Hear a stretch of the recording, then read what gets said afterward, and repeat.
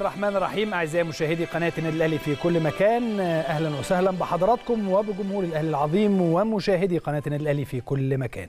حلقة جديدة من البيت الكبير. النهارده يوم الاثنين وزي ما تعودنا مع بداية السيزون الجديد الحقيقة وزي ما اتعودت مع حضراتكم إن إحنا بنفتح بعض القضايا اللي بتهم النادي الأهلي وكرة القدم المصرية طبعا. لأن لما بنيجي نتكلم في هذه الأمور بنتكلم بشكل عام وبيتم مناقشتها ومناقشة تفاصيلها ومع أطرافها على قد ما بنقدر بنجيب كل الأطراف طبعا مع ضيوفنا دايما في الاستوديو علشان نخرج في نهاية الحلقة بتوصيات يستفيد منها صناع القرار في المؤسسات الرياضية. النهارده هتكون قضية جديدة في البيت الكبير وهي شكل الدوري المصري. حضرتك عارف شكل الدوري المصري هيبقى عامل إزاي السنة الجاية؟ أنا عارف معرفش.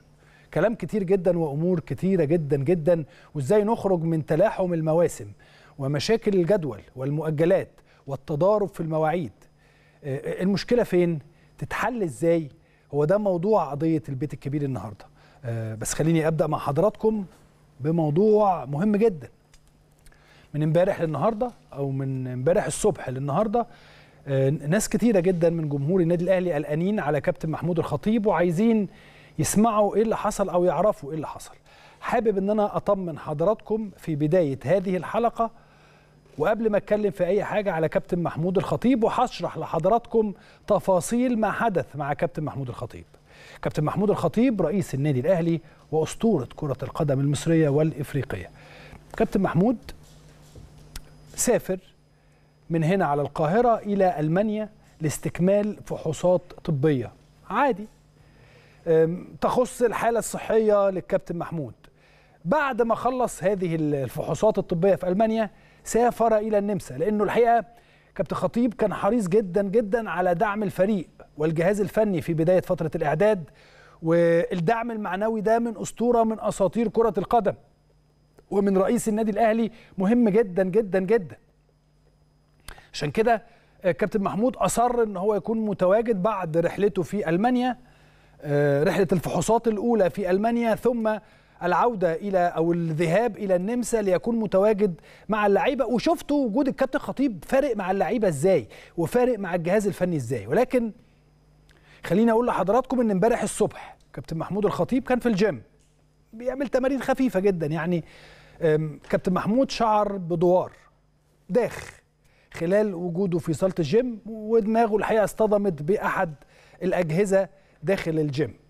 آه وبسبب ده اضطر كابتن محمود الحقيقة واضطر كل الموجودين إن هم ناخدوا كاب ناخد كابتن محمود الخطيب ونروح بيه إلى أقرب مستشفى آه في النمسا. احتاج فيها إلى عمل خياطة بعض الغرز في راس كابتن خطيب زي ما حضراتكم شايفين. الحمد لله هو بخير ولكن الأطباء في النمسا بعد ما عرض عليهم نتائج الفحوصات الطبية الأخيرة نصحوه بضرورة التوجه للطبيب المعالج لحالته في فرنسا لأنها حاجات تخصصية أكتر. وأنا جايب لحضراتكم الصورة دي حصريا في قناة النادي الأهلي وفي برنامج البيت الكبير زي ما حضراتكم شايفين عشان أطمنكم بس على كابتن محمود الخطيب. يعني أنا وأنا يعني الحمد لله والشكر لله يعني أنا عايز أطمنكم بكل الطرق يعني مش عارف أقول لكم إيه ولكن الكابتن محمود زي الفل. من إمبارح للنهاردة ناس كتيرة جدا جدا بتكلمني. صورة الكابتن خطيب دي كان بعد لأنه كابتن خطيب بكرة كمان حضراتكم هتشوفوه في المباراة الودية للنادي الأهلي في المعسكر اللي هتتلعب بكرة. حضراتكم عارفين وإحنا قايلين لكم من فترة طويلة جدا إن يوم 5 9 في مباراة ودية هيلعبها النادي الأهلي. كابتن محمود كان حريص إن هو أو مازال حريص إن هو يبقى موجود بكرة في معسكر أو يتفرج على المباراة الودية. وبعد المباراة الودية مباشرة هيذهب إلى استكمال فحوصاته في فرنسا. فكابتن محمود إن شاء الله بكرة تطمنوا عليه. فبكرة إن شاء الله لما هتشوفوه هتلاقوه يعني رابط راسه. هات لنا الصورة مرة ثانية يا سمير لو سمحت. هتلاقي رابط راسه زي ما يعني مش كده ولكن هتلاقي هو هنا كان عمل الغرز خلاص والأمور الحمد لله أصبحت طيبة جدا. مرة ثانية أنا حابب بس إن أنا أطمن حضراتكم على كابتن محمود الخطيب وإن شاء الله من خلال قناة الأهلي بكرة تشوفوه موجود مع الفريق وما قبل المباراة إن شاء الله وما بعد المباراة. وللأسف الشديد زي ما قلت لحضراتكم إحنا دايما قناة النادي الأهلي بتبقى حريصة على النادي الأهلي وليس شيء آخر. لما تبقى في مباراة ودية بنبقى حريصين تماما على وعندنا الكرو اللي يقدر يذيع هذه المباراة ولكن مستر كولر آه، رفض إذاعة هذه المباراة. مستر كولر رفض إذاعة هذه المباراة وبالتالي يحترم وجهة نظره الفنية يعمل اللي هو عايزه. إحنا إن شاء الله تكون معانا في الوقت اللي يعني يتم الاتفاق على إذاعتها هنذيعها ولكن غدا لن نستطيع إذاعة هذه المباراة. ولكن إن شاء الله بكرة في آه، استوديو الاشبال آه، الساعة 3 عصرا مباراة ودية على الهواء أو مش مباراة ودية أولى المباريات الرسمية لفريق 2005 في شباب النادي الأهلي هتذاع على الهواء مباشرة مع النجم الكبير كابتن أسامة حسني اللي هيكون متواجد مع حضراتكم ما قبل المباراة. وهنذيع لحضراتكم المباراة بالكامل 90 دقيقة ثم ما بعد المباراة آه، وتحليل ما بعد المباراة. مرة تانية آه، أنا بس حبيت إن أنا أجيب لحضراتكم الصورة بتاعت كابتن خطيب علشان تطمنوا. مش عايز حضراتكم تقلقوا الحمد لله هو بس شوية غرز في في دماغه آه، حاجة بسيطة ولكن هو كابتن زي الفل إن شاء الله تشوفوه بكرة. وبعد ما المباراة تخلص هيذهب إلى فرنسا علشان آه، يستكمل بقية الفحوصات. وهنتابع حضراتكم اولا بأول حالة صحية للكابتن محمود الخطيب. آخر حاجة هقولها في آه، موضوع الكابتن خطيب. يحتاج وجه يعني مش وجهة نظري كابتن خطيب يحتاج إلى راحة طو... راحة طويلة. الطبيب المعالج للكابتن خطيب من فترة طويلة قال له يا كابتن محمود لازم تستريح ذهنيا وعصبيا وكل شيء. كابتن خطيب الفترة اللي فاتت زي ما حضراتكم عارفين وزي ما دايما بتشوفوه من خلال شاشة قناة النادي الأهلي متواجد في كل الأوقات. فكل اللي إحنا عايزينه هو على فكرة ممكن يكون مستريح وبيتابع كل حاجة ولكن مستريح. فالكابتن خطيب محتاج راحة وطويلة. ده اللي هيحدده أكتر إن شاء الله كل الفحوصات اللي هيشوفها في فرنسا وخليني أقول لحضراتكم إنه إن شاء الله إن شاء الله إحنا دايما بنبقى حريصين إن إحنا نطلع الكلمة من عندنا علشان تكون الكلمة الصادقة. طمنوا على كابتن خطيب وإن شاء الله بكرة آه، أكيد آه، هيجيبوا لنا من النمسا آه، وجود الكابتن محمود ما قبل المباراة إن شاء الله. ووجوده مع الفريق وهو بيتفرج على الفريق إن شاء الله. خلينا نذهب إلى النمسا بما إننا بنتكلم ونتابع كل أخبار معسكر النادي الأهلي زي كل يوم وزي ما كل دايما بنتكلم مع حضراتكم لحظة بلحظة. فاروق صلاح زميلنا العزيز من النمسا يطمنا اولا على كابتن خطيب ثانيا على كل أمور الفريق. اتفضل يا فاروق. برحب بيك كابتننا الكبير كابتن إسلام الشاطر وبرحب بكل مشاهدينا مشاهدة ومتابعي شاشة قناة النادي الأهلي في كل مكان. يعني لقاء معتاد دايما يا كابتن إسلام من خلال حضرتك ومن خلال قناة النادي الأهلي. يعني بنحط الجماهير في الأحداث هنا في النمسا طمنهم طبعا على أحوال الفريق آه، يعني الأمور الخاصة بمعسكر إعداد النادي الأهلي. يعني خلاص المعسكر بيقترب من الختام والمباراة الودية غدا بمشيئة الله تكون ختام طبعا لمعسكر النادي الأهلي. إن شاء الله معسكر يكون مردوده على اللاعبين وعلى الجمهور إن شاء الله بدءا من مباراة السوبر بإذن الله وتكون أولى بطولات النادي الأهلي اللي يتوج بيها هذا الموسم بإذن الله. طيب في البداية طمنا على كابتن خطيب. يعني زي ما حضرتك تابعت كلنا تابعنا طبعا الحالة الصحية للكابتن محمود الخطيب اللي دايما بيتحامل على نفسه. يعني الكابتن الخطيب يعني بيحب يطمن على كل الأمور كل التفاصيل. يعني الأمر ده يعني بيرهق الكابتن. يعني في كل الأحوال بيتابع كل التفاصيل. الخاصه عايز يطمن على الفريق عايز يطمن على الجهاز الفني. بيقعد في جلسات مع بعض اللاعبين جلسات مع المستر كولر مع الكابتن خالد بيبو. كابتن آه، بيبو أو الكابتن خطيب يعني آه، ربنا يحفظه يا رب ربنا يبارك في عمره. آه، الصورة كابتن إسلام دايما لما بتشوف ملامح وجه الكابتن الخطيب ده مسؤول عن إسعاد ملايين من جماهير النادي الأهلي. حمل إنك تكون مرتبط على رأس منظومة زي منظومة النادي الأهلي ليها حمل كبير جدا وليها مسؤوليات. ربنا يعين الكابتن محمود الخطيب. يعني كتير من الجماهير اللي النهارده بتدعي له يعني ربنا يشفيه يا رب ويعني ويبارك في عمره. طيب انت بس عشان ما نروحش يعني في أماكن كثيره والناس تفكر في أماكن أخرى عايز برضو تقول لي النهارده كابتن خطيب كان متواجد وسط البعثة نزل الغداء نزل العشاء الأمور بشكل عام يعني. في يعني في الوقت اللي أنا بكلم حضرتك يعني في جلسة بينه وبين الكابتن خالد بيبو. طبعا كان موجود طبعا على مدار اليوم. زي ما قلت لحضرتك بيبقى بيعقد جلسات مع مع اللاعبين مع الجهاز الفني مع الكابتن خالد بيبو. طبعا موجود في في كافة يعني ال- الأوقات اليوم أو يعني الفقرات ال- اليوم. موجود معانا في وجبه وجبة الإفطار في الغداء في العشاء. يعني في الوقت اللي أنا بكلم حضرتك فيه جلسة بينه وبين الكابتن خالد بيبو. خلاص الكابتن يعني ال- الكابتن الخطيب يتوجه ليه غرفته وطبعا زي ما حضرتك قلت يا كابتن اسلام يعني بعد انتهاء طبعا ال- المباراة والمعسكر طبعا هيتجه إلى فرنسا لاستكمال علاجه اللي نتمنى له الشفاء بإذن الله. يا رب إن شاء الله. اذا الكابتن خطيب زي ما قلت لحضراتكم زي الفل ما تقلقوش من حاجة كل الأمور جيدة آه، من خلال قناتكم قناة النادي الأهلي اللي بتبقى حريصة دايما إن إحنا نشرح لحضراتكم كل شيء وبالتفصيل خصوصا آه، تمس آه، نجم كبير وأسطورة كبيرة جدا. في عالم كرة القدم النجم الكبير ورئيس النادي الأهلي كابتن محمود الخطيب تطمنوا وإن شاء الله بكرة نجيب لحضراتكم كل اللقطات الخاصة بكابتن محمود الخطيب مع زميلنا فاروق صلاح اللي هيبقى متواجد مع حضراتكم طول النهار. خلينا ننتقل إلى الفريق يا يا يا, يا فاروق وطمنا على أحوال الفريق وإيه اللي حصل النهارده والتمرينة والأمور وبكرة إيه اللي هيحصل وهكذا. وأنا عرفت كمان إنه يعني خلاص لن كابتن إسلام طبعاً. آه، مستر كولر رفض إذاعة المباراة. بالفعل يا كابتن إسلام مستر كولر رفض إذاعة المباراة. وخليني أقول إن مستر كولر طبعا في بعض الأمور الفنية اللي هو يعني حقه. عايز يطبق جزء منها في المباراة غدا بمشي بمشيئة. بالظبط يا كابتن إسلام أنت عارف إحنا دورنا إحنا جاهزين في أي وقت سواء إحنا أو يعني الكرو الخاص بإدارة إعلام النادي الأهلي ومنصات النادي الأهلي. مظبوط. إحنا جاهزين لأي حدث يعني الحمد لله نقدر نغطيه بالشكل ال- الكافي. ولكن إحنا دا- دايما بيبقى هدفنا هو خدمة ال- النادي الأهلي. إحنا دورنا إن إحنا نساعد الجهاز الفني إحنا جزء من المنظومة جاية نساعد اللاعبين نساعد الحفاظ على يعني الأمور السرية أو الأمور الخاصة بالف- بالفريق لأن هو ده جزء طبعا من من عملنا وجزء من حبنا وانتمائنا لل- للنادي الأهلي لأن إحنا لازم نحافظ على هذا الأمر وأكيد لازم نساعد في هذا الأمر. وعلينا طبعا الجميع يتقبل هذا الأمر.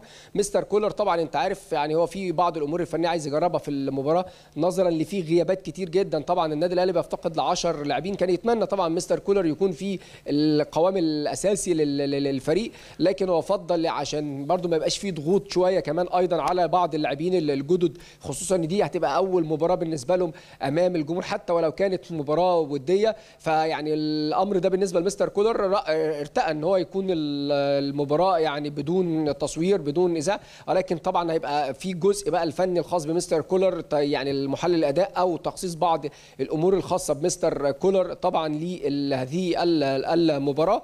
الفريق طبعا النهارده يا كابتن إسلام كان أدى يعني التدريب المسائي أو اللي هو ال try match استعدادا لهذه ال- المواجهة وهذه المباراة.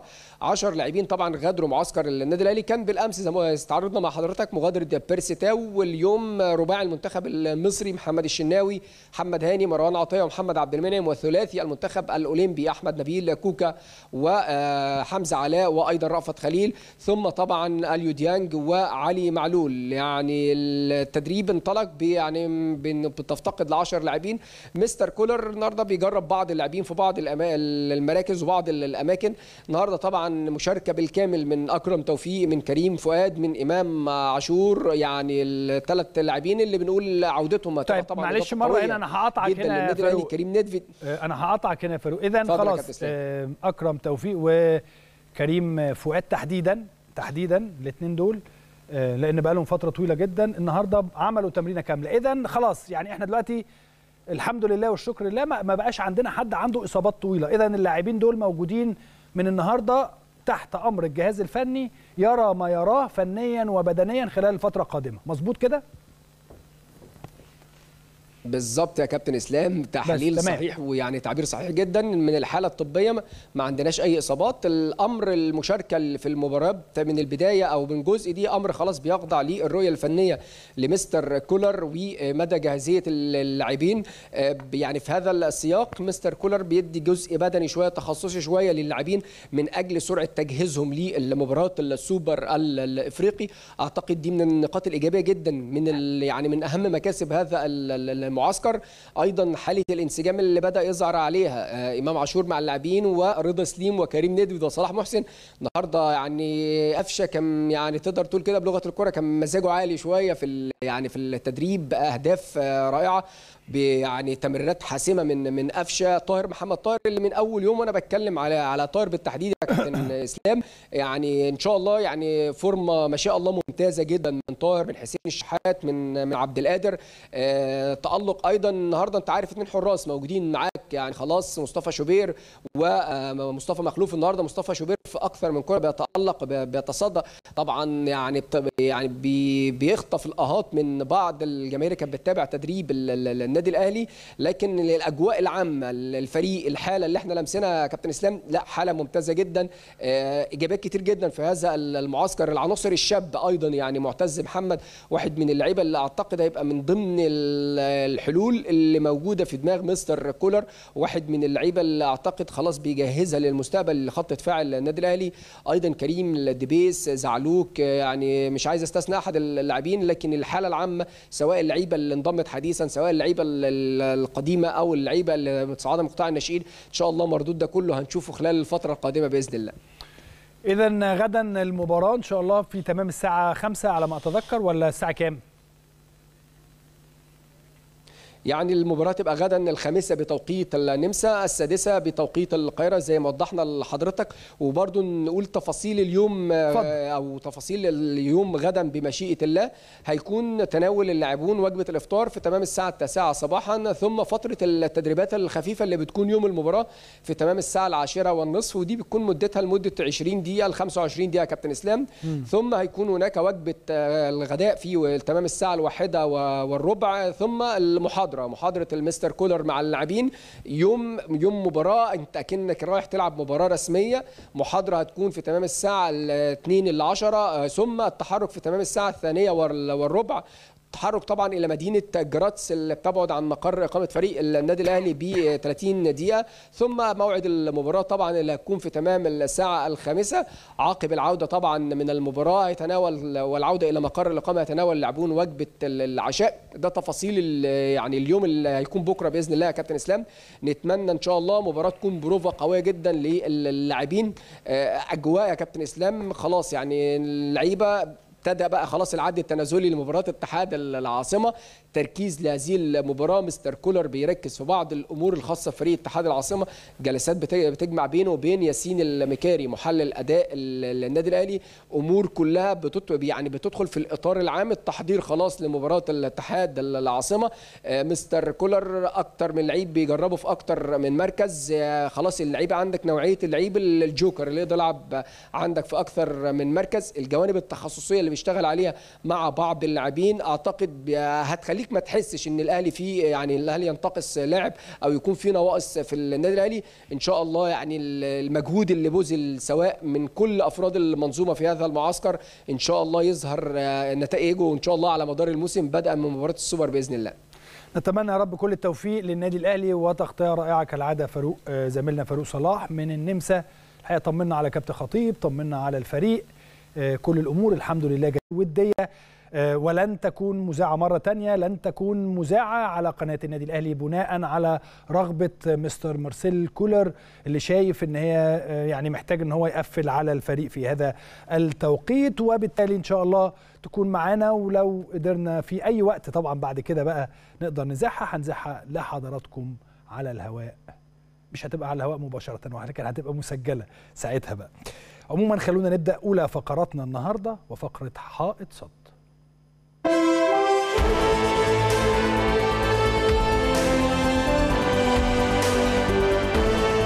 جدا في كلامي ومحدد.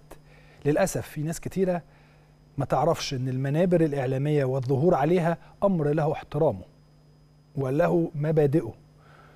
يجب لما تطلع وعلى في أي منبر, منبر إعلامي يجب أن تحترم عقول المشاهدين. آه، وعدم تحكم الأهواء والمصالح الشخصية أو شهوة صناعة الترند. يعني مثلا يطلع علينا لعيب كرة سابق في أحد البرامج معروف عنه إن هو بيدور على الترند واللقطة والشو الإعلامي. لا ي- لا ينظر إلا لهذه الأمور فقط لا غير. يقول لك إيه؟ تخيل حضرتك أنه حتى هذه اللحظة ممكن حد يطلع يقول لك إن كولر ضعيف فنيا وإن هو مش بيعرف يدير المباريات. طب لو كان بيعرف يدير المباريات كان حصل إيه؟ يعني أنا مستر مارسيل كولر لعب خمس بطولات خد الخمس بطولات. وبيتقال عليه دلوقتي من واحد مفترض إن هو لعب كورة آه، ولكنه يهوى الترند. من المفترض إن هو مش الترند بتاعنا بيهوى الترند الترند مش برنامجنا يعني الترند اللي اللي بتشوفوه حضراتكم بيحصل. فيطلع يقول لك أصل كولر ضعيف. وإن إدارة الأهلي بتتدخل في بتتدخل في سياسات كولر الفنية وبتجبره على تشكيل معين وطريقة لعب معين. والله العظيم ثلاثة أنا حزين على هذا المستوى اللي وصلنا ليه في الإعلام الرياضي. حضرتك الكلام ده ممكن يكون يحصل في أندية أخرى ولكن صدقني عندنا النادي الأهلي لا يحدث فيه هذا الأمور. فممكن تكون أنت معتاد على كده. ومتخيل إن الكلام ده يكون عندك في النادي بتاعك أنا ما أعرفش. مع إنك عارف كويس جدا إن الأهلي آه، ما ينفعش يحصل ما ينفعش يحصل فيه كده. لأن تصريحاتك دي بتدل على إنك مش عايش معانا أساسا على أرض الواقع. كلامك لا يمت للحقيقة بأي صلة. ضحك على الدقون. وبحث عن الترند فقط واللقطة. لا غير. ضحك على الدقون والله العظيم. ضحك على الدقون وترند فقط. داخل في منطقة صعبة قوي. يعني الناس كلها بتقول على كولر كويس فاطلع أنا أقول عليه وحش عشان الناس عشان الناس تبص عليا.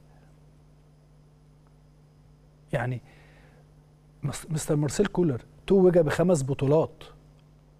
ما هو المطلوب منه مرة أخرى؟ أنا عارف إن أنت لو ما عملتش كده هتقعد في البيت.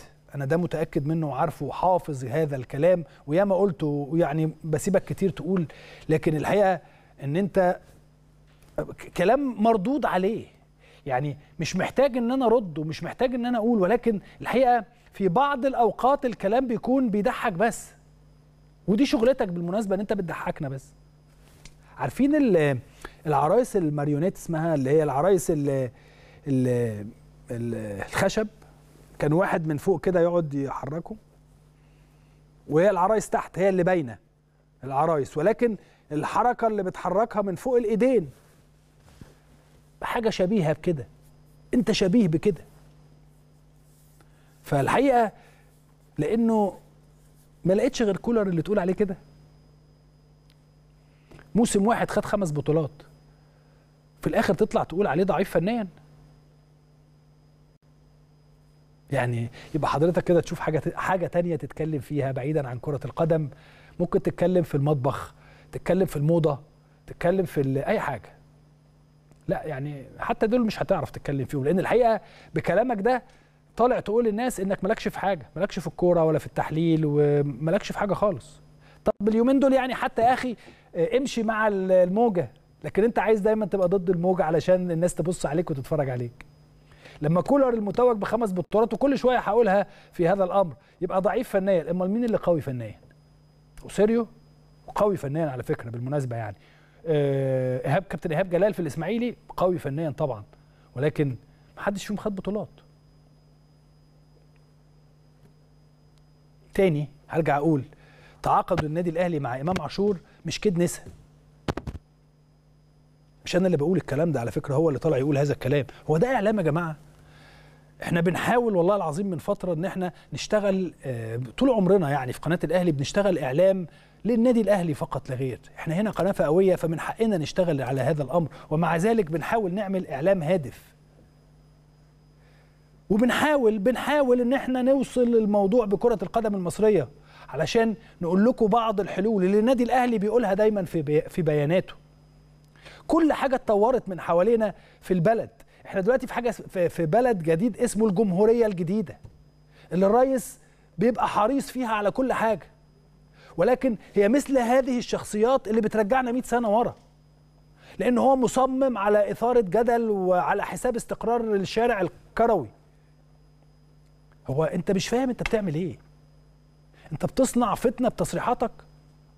النادي الأهلي لم يتعاقد مع إمام عاشور إلا علشان حمدي فتحي مشي فلازم تجيب حد من ناحية حمدي فتحي أو شبه حمدي فتحي أو التعاقد اللي يبقى قريب من حمدي فتحي زي إمام عاشور.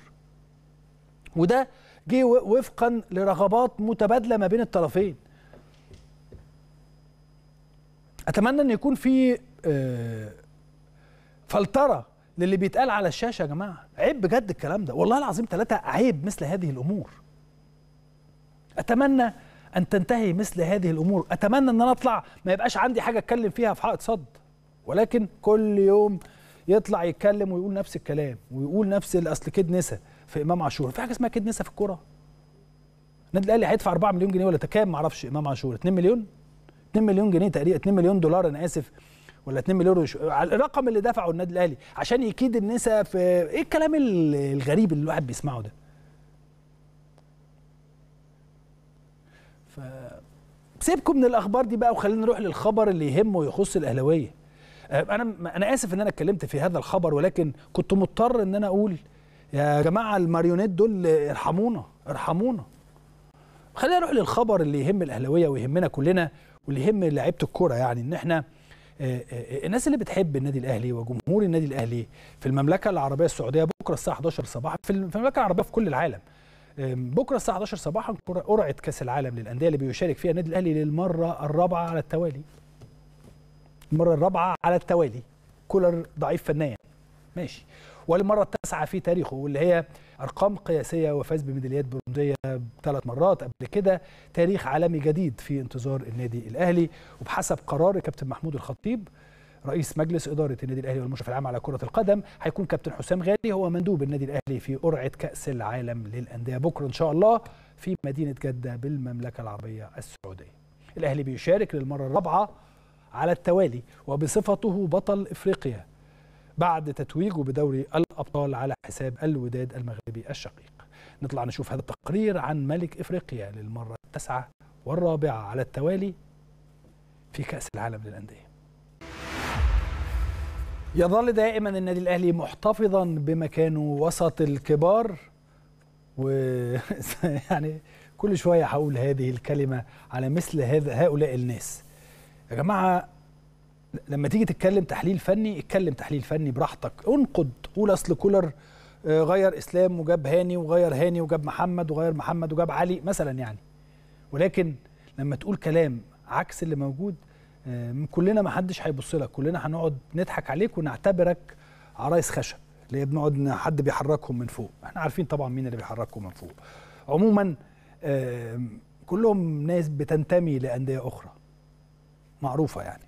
طيب عموما عندنا هنرجع للنمسا تاني وعندنا لقاء مهم جدا الحقيقة مع أحد نجوم النادي الأهلي النجم مصطفى شوبير. مصطفى شوبير أثبت نفسه خلال الموسم السابق في أمور كثيرة جدا ومباريات كثيرة جدا. الحقيقة بعيدا عن كونه واحد ابن واحد من أعظم حراس المرمى في النادي الأهلي كابتن أحمد شوبير النجم الكبير ولكن مصطفى شوبير له شخصية متفردة. مصطفى شوبير له شكل مختلف تماما عن بعيدا عن نجم زي كابتن أحمد شوبير. عموما خلينا نطلع نشوف ماذا قال. هو حوار طويل شوية حوالي 15-16 دقيقة.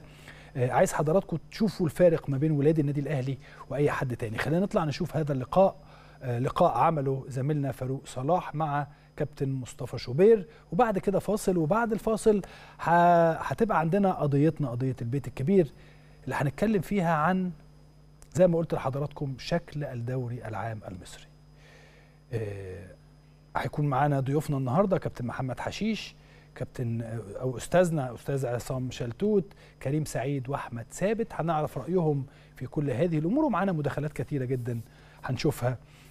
خلال الفقرة القادمة. هنطلع نشوف ماذا قال كابتن مصطفى شوبير لفاروق صلاح. فاصل وبعد الفاصل نستقبل ضيوفنا الكبار. أوفا برحب بك على شاشة قناة النادي الأهلي وهذا الشبل من ذاك الأسد بيضع مسؤولية عليك لكن الأيام أثبتت أن مصطفى فعلا امتداد لحراس عظام في النادي الأهلي. برحب بك يا أوفا وبتمنى لك التوفيق دايما. حبيبي فاروق بشكرك طبعا على اولا برحب بيك وبشكرك طبعا على المقدمة الجميلة دي. وبحيي جمهور النادي الأهلي اللي بيتفرج علينا. ولسه إحنا لسه ما أثبتناش حاجة لسه الناس إن شاء الله لسه هتشوف إن شاء الله اللي جاي وبإذن الله الواحد يبقى على قدر اطلاعات الناس وبإذن الله الواحد يقدر يقدم أفضل من كده إن شاء الله. وفا اتكلمنا فيها كتير لكن برضو بيبقى مهم جدا إن إحنا نوضحها. إنك تكون نجل لاعب كورة وحجم بحجم وقيمة الكابتن شوبير بيشيلك مسؤولية كبيرة جدا. بيضع عليك ضغوط مع كل المراحل دي. مصطفى شوبير أثبت إنه على قدر هذه الضغوط على قدر هذه المسؤولية صنعت من عقلية وشخصية مصطفى شوبير. طبعا الحمد لله. تاني أرجع أقول لك هو الموضوع مش سهل كده كده إن أنت مرتبط باسم كبير زي اسم الكابتن أحمد شوبير بس إحنا مش عايزين نقعد نعيد في الكلام كتير لأن هي خلاص هي ال- التون نفسها خلاص اتقفلت. مش عايزين إحنا بقى نقعد نفتح فيها ونتكلم فيها وخلاص هو موضوع واتقفل. أنت دلوقتي اسمك مصطفى أحمد شوبير لاعب النادي الأهلي حارس مرمى النادي الأهلي وإن شاء الله تبقى قد المسؤولية وبإذن الله تبقى قد المكان اللي أنت فيه. أنا ده اللي حابب أقوله في الموضوع مش. مش هتكلم فيه أكتر من كده. مصطفى عايز أروح لمشهد المباراة النهائية. العلاقة اللي بين مصطفى شوبير والكابتن محمد الشناوي. هتكلم على المباراة الثانية بعدين ارجع للمباراة الأولى. مشهد الكابتن محمد الشناوي بينادي على مصطفى شوبير. ده إن ده اللي بيدل على قيمة ال- ال- النادي الأهلي حالة الحب اللي بينك وبين حجم لاعب بحجم وقيمه محمد الكابتن محمد الشناوي. طبعا كابتن محمد الشناوي أخويا الكبير وأخونا كلنا الكبير.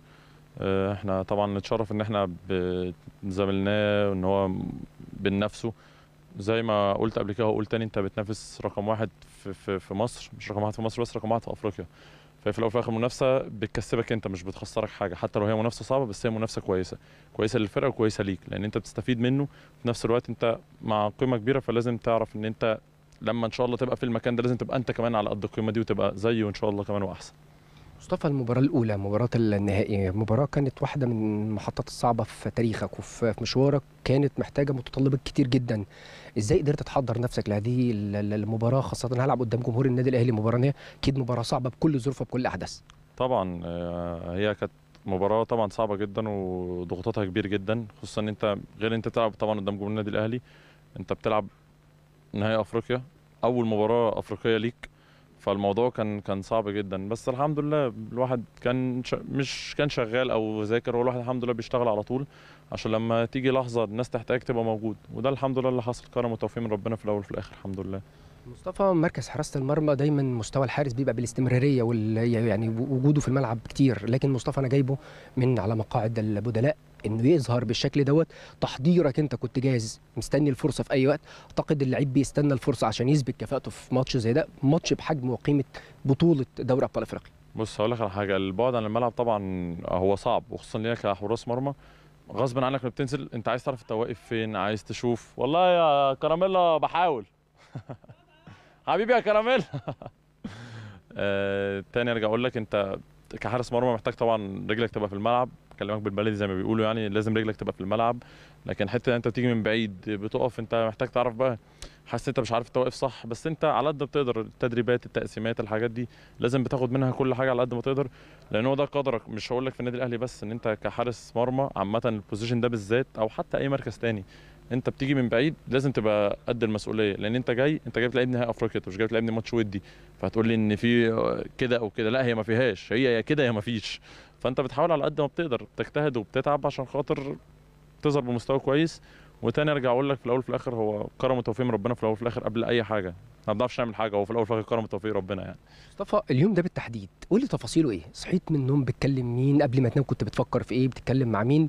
مسؤولية كبيرة ماتش نهائي دوري أبطال إفريقيا. تفاصيل اليوم ده كانت بالنسبة لك إزاي قبل المباراة قبل 90 دقيقة؟ بص أنا ما اتكلمتش مع حد خالص. آه، أنا أصلا عملت قفلت موبايلي يعني كنت already قافل برضو ال social media accounts بتاعتي كلها. مش قافلها بس مش فاتح notifications بحيث ما يتبعتليش حاجة ما أخش أشوف. لأن برضو الجمهور كان عامل حملة كبيرة جدا إن هو يدعمك وده أنا عرفته بعد. ف ساعات ال- ال- الدعم الزيادة أو الضغط الزيادة ممكن بيشكل العكس. إن يخليك أنت من ال... من إن أنت خلاص تمام متحفز إن أنت تضغط إن أنت تتوتر. فأنا كنت كنت شايف إن ده الصح والحمد لله طلع ده الصح إن أنت قفلت على نفسك ركزت كويس قوي قفلت تليفوني. حتى بعدها ناس كتير كلمتني يا, ابني كلمناك قبل الماتش كنا عايزين اللي هو أنا عارف واقسم بالله شكرا بس أنا أنا للأسف أنا ما كنتش عارف أرد على واحد واحد عشان برضه أنا أعرف أحط نفسي في مود الماتش. فأنا عادي صحيت خدت فطاري ريحت لي برضه بعدها شوية. حتى برضه واحد صاحبي كان بيسال لي أنت عرفت تنام اللي هو قبل الماتش؟ بص أول مباراة رسمية كنت بفكر كتير عامة أول ماتش الرسمي ليا خالص كان قدام الترسانة في الكاس. كنت بفكر كتير والحمد لله لعبت وتمام. بس أنا لما جيت لعبت الماتش بتاع النهائي حسيت إن لأ تمام عادي. يعني أنا عارف آكل عارف أنام عارف أعيش حياتي طبيعي. الحمد لله ممكن كان الواحد يعني لا يكلف الله نفسا إلا وسعها. كان ربنا حطك في حتة عارف إن أنت قدها فتمام. الحمد لله الدنيا كانت كويسة. الضغوطات بالنسبة لي كانت هادية. كنت كنت واثق في ربنا جدا وكنت واثق في نفسي كويس قوي إن أنا إن شاء الله هعمل حاجة كويسة. إمتى حسيت بالقلق وإمتى حسيت بالثقة في المباراة دي؟ لا ال- القلق مش عايز أقول لك طب في قلق؟ بص في فرق ما بين قلق وتوتر. قلق في قلق ده الطبيعي ده لازم تحسه عشان تعرف إن أنت مركز ده طبيعي. لكن لو ما حسيتش بقلق أنت كده هتوصل تبقى متكبر. الدنيا هتروح معاك في حتة مش كويسة. فلازم يبقى في قلق. بس في قلق صحي زي ما بيقولوا. قلق ده الطبيعي. لكن آه، توتر أو حاجة ده ده ده الفرق بينهم. آه، الثقة ممكن عايز أقول لك من من أول ما نزلت التسخين من أول ما لقيت الجمهور بيشجع كده من أول ما لقيت الدعم ده كله لا خلاص الواحد لو كان عنده مثلا ثقة في نفسه 10 بقت 20 بقت 30 بتعلى مع ثقة الناس فيك والحمد لله ربنا كرم الحمد لله. أول مكالمة بقى بعد المباراة دي كانت مع مين؟ جالك مكالمات كتير جدا لكن مين اللي انت كنت حريص أنت تتكلم معاه بعد المباراة دي؟ أنا أول واحد بعد الماتش على طول كان أخويا. أخويا كان في الماتش أخويا بيحضر لي كل الماتشات. آه تيكو تيكو أخويا بيحضر لي كل الماتشات. هو وش السعد عليا عامة. يعني مفيش ماتش جه الحمد لله من أيام القطاع وأنا خسرته. هو دايما يجي حتى أنا قبلها مثلا بيوم أقول له تيكو أنا عندي مثلا بكرة ماتش كذا كذا. فيجي. فأعرف إن خلاص كده الماتش إن شاء الله النهارده بتاعنا. فهو تيكو كان أول واحد شفته على طول بعد الماتش. أنا ما كنتش لسه عارف أكلم حد. يعني كنت لسه خارج وكان زحمة فخرجت معاه في العربية. فلقيته بي- بيحضني وهايل وأنا فخور بيك ومش عارف. بعد كده كلمت آه، والدي والدتي من التليفون يعني من عنده على طول أول ما قال لك إيه كابتن كابتن شوبير قال لك إيه بعد الماتش؟ هو أصلا قبل الماتش ولا بعد الماتش؟ لا قبل الماتش قال لك إيه وبعد الماتش؟ قال لك إيه؟ الماتش قبل الماتش. حتى هو كان حد بعت لي كده comic لذيذ. أنا قلتها قبل كده هو بعت لي enjoy على الساعة مثلا واحدة واحدة ونص. و- فاللي هو وسكت. فكان في حد حتى منزل comic اللي هو بيقول لك كمل يا كابتن شوبير قول بقى عايز تقول له إيه فاهم؟ بس هو هو قال ال- هو قال الكلمة دي وهي فعلا أنا أعتقد هي أصح كلمة أنت enjoy أنت استمتع. أنت نازل تلعب ماتش في ضغوطات كبيرة وفي جمهور وفي أنت الحاجة الوحيدة اللي تخليك تأدي بشكل كويس إن أنت تستمتع. حطيت نفسك في zone تانية تاني. حطيت نفسك في zone تانية غير دي تعرف إن أنت في مشكلة. فبعد الماتش برضو كلمني قعد يقول لي أنا قلت لك وقلت لك انجوي وأنت فعلا كان باين عليك أنت بتلعب مش متوتر مستمتع. حمزة حمزة. بيحبك بيقول لأ. لا حمزة حمزة طبعا أخويا وكان واقف في ظهري برضه ساعة الماتش. وربنا يعلم أنا بحبه وبعزه وهو حتى برضه في البطولة الناس شافت الناس شافت قد إيه هو تألق وأثبت إن هو يستحق يبقى موجود في المكان اللي هو فيها. لأن أنا بقول لك الناس غصب عنها ما شافتش لسه فهتقعد تقول لك يا ترى هو كويس ولا لأ؟ هيبقى في نقاش هو كويس ولا لأ.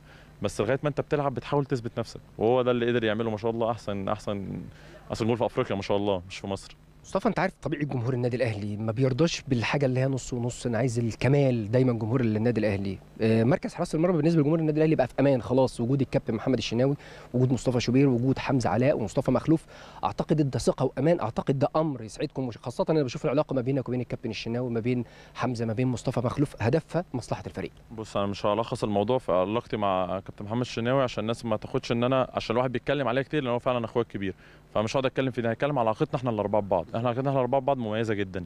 آه، يمكن كمان آه، يعني شوبير حمزة مخلوف إحنا سننا قريب من بعض. الفرق بيننا بيني وبين حمزة سنة وبيني وبين مصطفى ثلاث سنين. فاحنا كلنا سننا قريب من بعض فاحنا حاسين ببعض. عارفين لما مصطفى مخلوف طلع أول تمرينة إحنا عارفين نقف جنبه إزاي. يا مصطفى أنت هتحس بكذا كذا عادي طبيعي. يا مصطفى أنت مش عارف إيه طبيعي. كل اللي هو مش مش مش هقول لك من حكم الخبرة ولا حاجة إحنا لسه برضو ما عملناش حاجة بس إحنا حاسين ببعض. فاحنا علاقتنا مميزة جدا من بعض plus إن إحنا الثلاثه علاقتنا مميزة مع كابتن محمد الشناوي. ففي الأول وفي الآخر إحنا الأربعة مع بعض لأ في chemistry حلوة الدنيا كويسة الأجواء لذيذة مش هتلاقي نفسنا مش هتلاقي الحاجات دي لأن هي مش موجودة. وحتى لما كان كابتن علي موجود نفس النظام برضو. يعني كابتن علي لما بيلعب إحنا كلنا في ظهره عايزينه يبقى كويس. كابتن علي لما لعبت النهائي بتاع أفريقيا ما هو كان معايا في الماتش كان موجود احتياطي في ظهري وعايزني أبقى أبقى أحسن حاجة. هي دي العلاقة ما بيننا دايما هنا. مصطفى كم بطولة لحد دلوقتي مع مع النادي الأهلي؟ وإحنا يعني بنقولوا في بدايات ال- ال- المشوار لسه عندك تطلعات كتير جدا يا شوبير. بص كان بطولة أنا مش عايز أبقى بتريق أو أبقى اوري إن أنا جامد بس أنا أنا فعلا يعني الحمد لله هم الحمد لله الحمد لله يا رب واللهم ديمها نعمة ويا رب تزيد إن هم الحمد لله كتير. آه، كان بالظبط؟ أنا عديتهم من فترة بس أنا للأسف نسيت. بس آه، مش هتلاقيني أنا بس هتلاقي أنا وكذا حد من من الرجالة كلنا في ناس كتير ما ممكن حتى ناس مشيت تلاقي إن هي مشيت ولسه ب- ب- ب- متأيدين في قائمة أفريقيا فاتحسبت لهم البطولة. وده اللي بيحصل معايا هو يحصل معايا حد لما تبقى في نادي زي النادي الأهلي بينافس على كل البطولات. انت السنة اللي فاتت تتكلم في خمس بطولات في موسم واحد والسنة الجاية إحنا لو قعدنا نعد البطولات برضو انت بتتكلم في تقريبا ستة أو سبع بطولات كاس قديم كاس جديد دوري. السنة دي ممكن مجموع البطولات اللي ياخدها النادي الأهلي تخش لها في تسع بطولات أو ثمان بطولات. طيب آه، انت بتتكلم في تسعه في تسعه ثمان بطولات. انت ان شاء الله انت ده النادي الأهلي بتدخل بتنافس على البطولات كلها. فلو خدت تسعة من التسعة تخيل انت جيت لعبت موسم خدت تسع بطولات. فده ده كارير لوحده ده تاريخ لوحده. يعني مش عايز أقول لك مش هعد عشان خاطر إن شاء الله اللي جاي كمان يجوا ولما الواحد بقى إن شاء الله يلعب إن شاء الله الأول يبدأ مسيرة كويسة ويجي يبطل إن شاء الله يبقى يعدهم يعني إن شاء الله. بإذن الله مصطفى. مصطفى اللي يعني عايز أروح للموسم الماضي خمس بطولات بيشيلكم مسؤولية للموسم ال- القادم ولا بيدي عامل آه، دفع ويرفع روح معنوية للاعبين؟ أكيد في جزء بيشيل ضغوط إن أنت مش مقبول منك إن أنت تفقد أي بطولة. الاثنين زي ما أنت قلت هو جزء بضغطك وجزء بيديك حافز ان انت عايز تحافظ على على البطولات اللي انت خدتها ومش عايز تطلع براك وفي نفس الوقت في بطولات جديدة انت عايز تبقى واخد دي وواخد دي. فانت كنادي أهلي انت بتحاول تخش كل البطولات عشان تاخد كل البطولات حتى لو كانت كأس الرابطة. يعني كأس الرابطة لما لعبنا بال بالشباب كنا داخلين برضه حاطين في دماغنا إن إحنا عايزين ناخد البطولة مش نظهر بس بشكل كويس. فهي الفكرة في كده. طبعا هو بتشكل ضغط كبير بس في نفس الوقت هو ده قدرك النادي الأهلي. أنت قعدت تاخد الدوري سنة والثانيه والثالثه خدت أفريقيا سنة والثانيه لما جت الثالثه حصل دروب كأن في كارثة حصلت مع إنك واخد سنتين اللي قبلها وظروفها كانت صعبة للبطولة الثالثه بس أنت قدرت تقف تاني والأهلي لما بيقع بيقع بيعرف يقوم زي ما قفشة بيقول. فأنت اللي هو مش من اللي جاي. فأنت عارف كويس قوي أنت أنت أنت كنادي السيستم بتاعك ماشي إزاي وهتعمل إيه. فأنت بتقعد ترتب تحضر كل حاجة بتحسب كل حاجة كويس قوي وبتبقى عارف إن أنت أنت هتبدأ بالسوبر الأفريقي أول ماتش. بعد السوبر الأفريقي عندك التمهيدي بتاع أفريقيا. طبعا المواعيد بيحصل فيها لخبطة كتير بس إحنا بنحاول على قد ما نقدر تبقى جاهز لأي حاجة.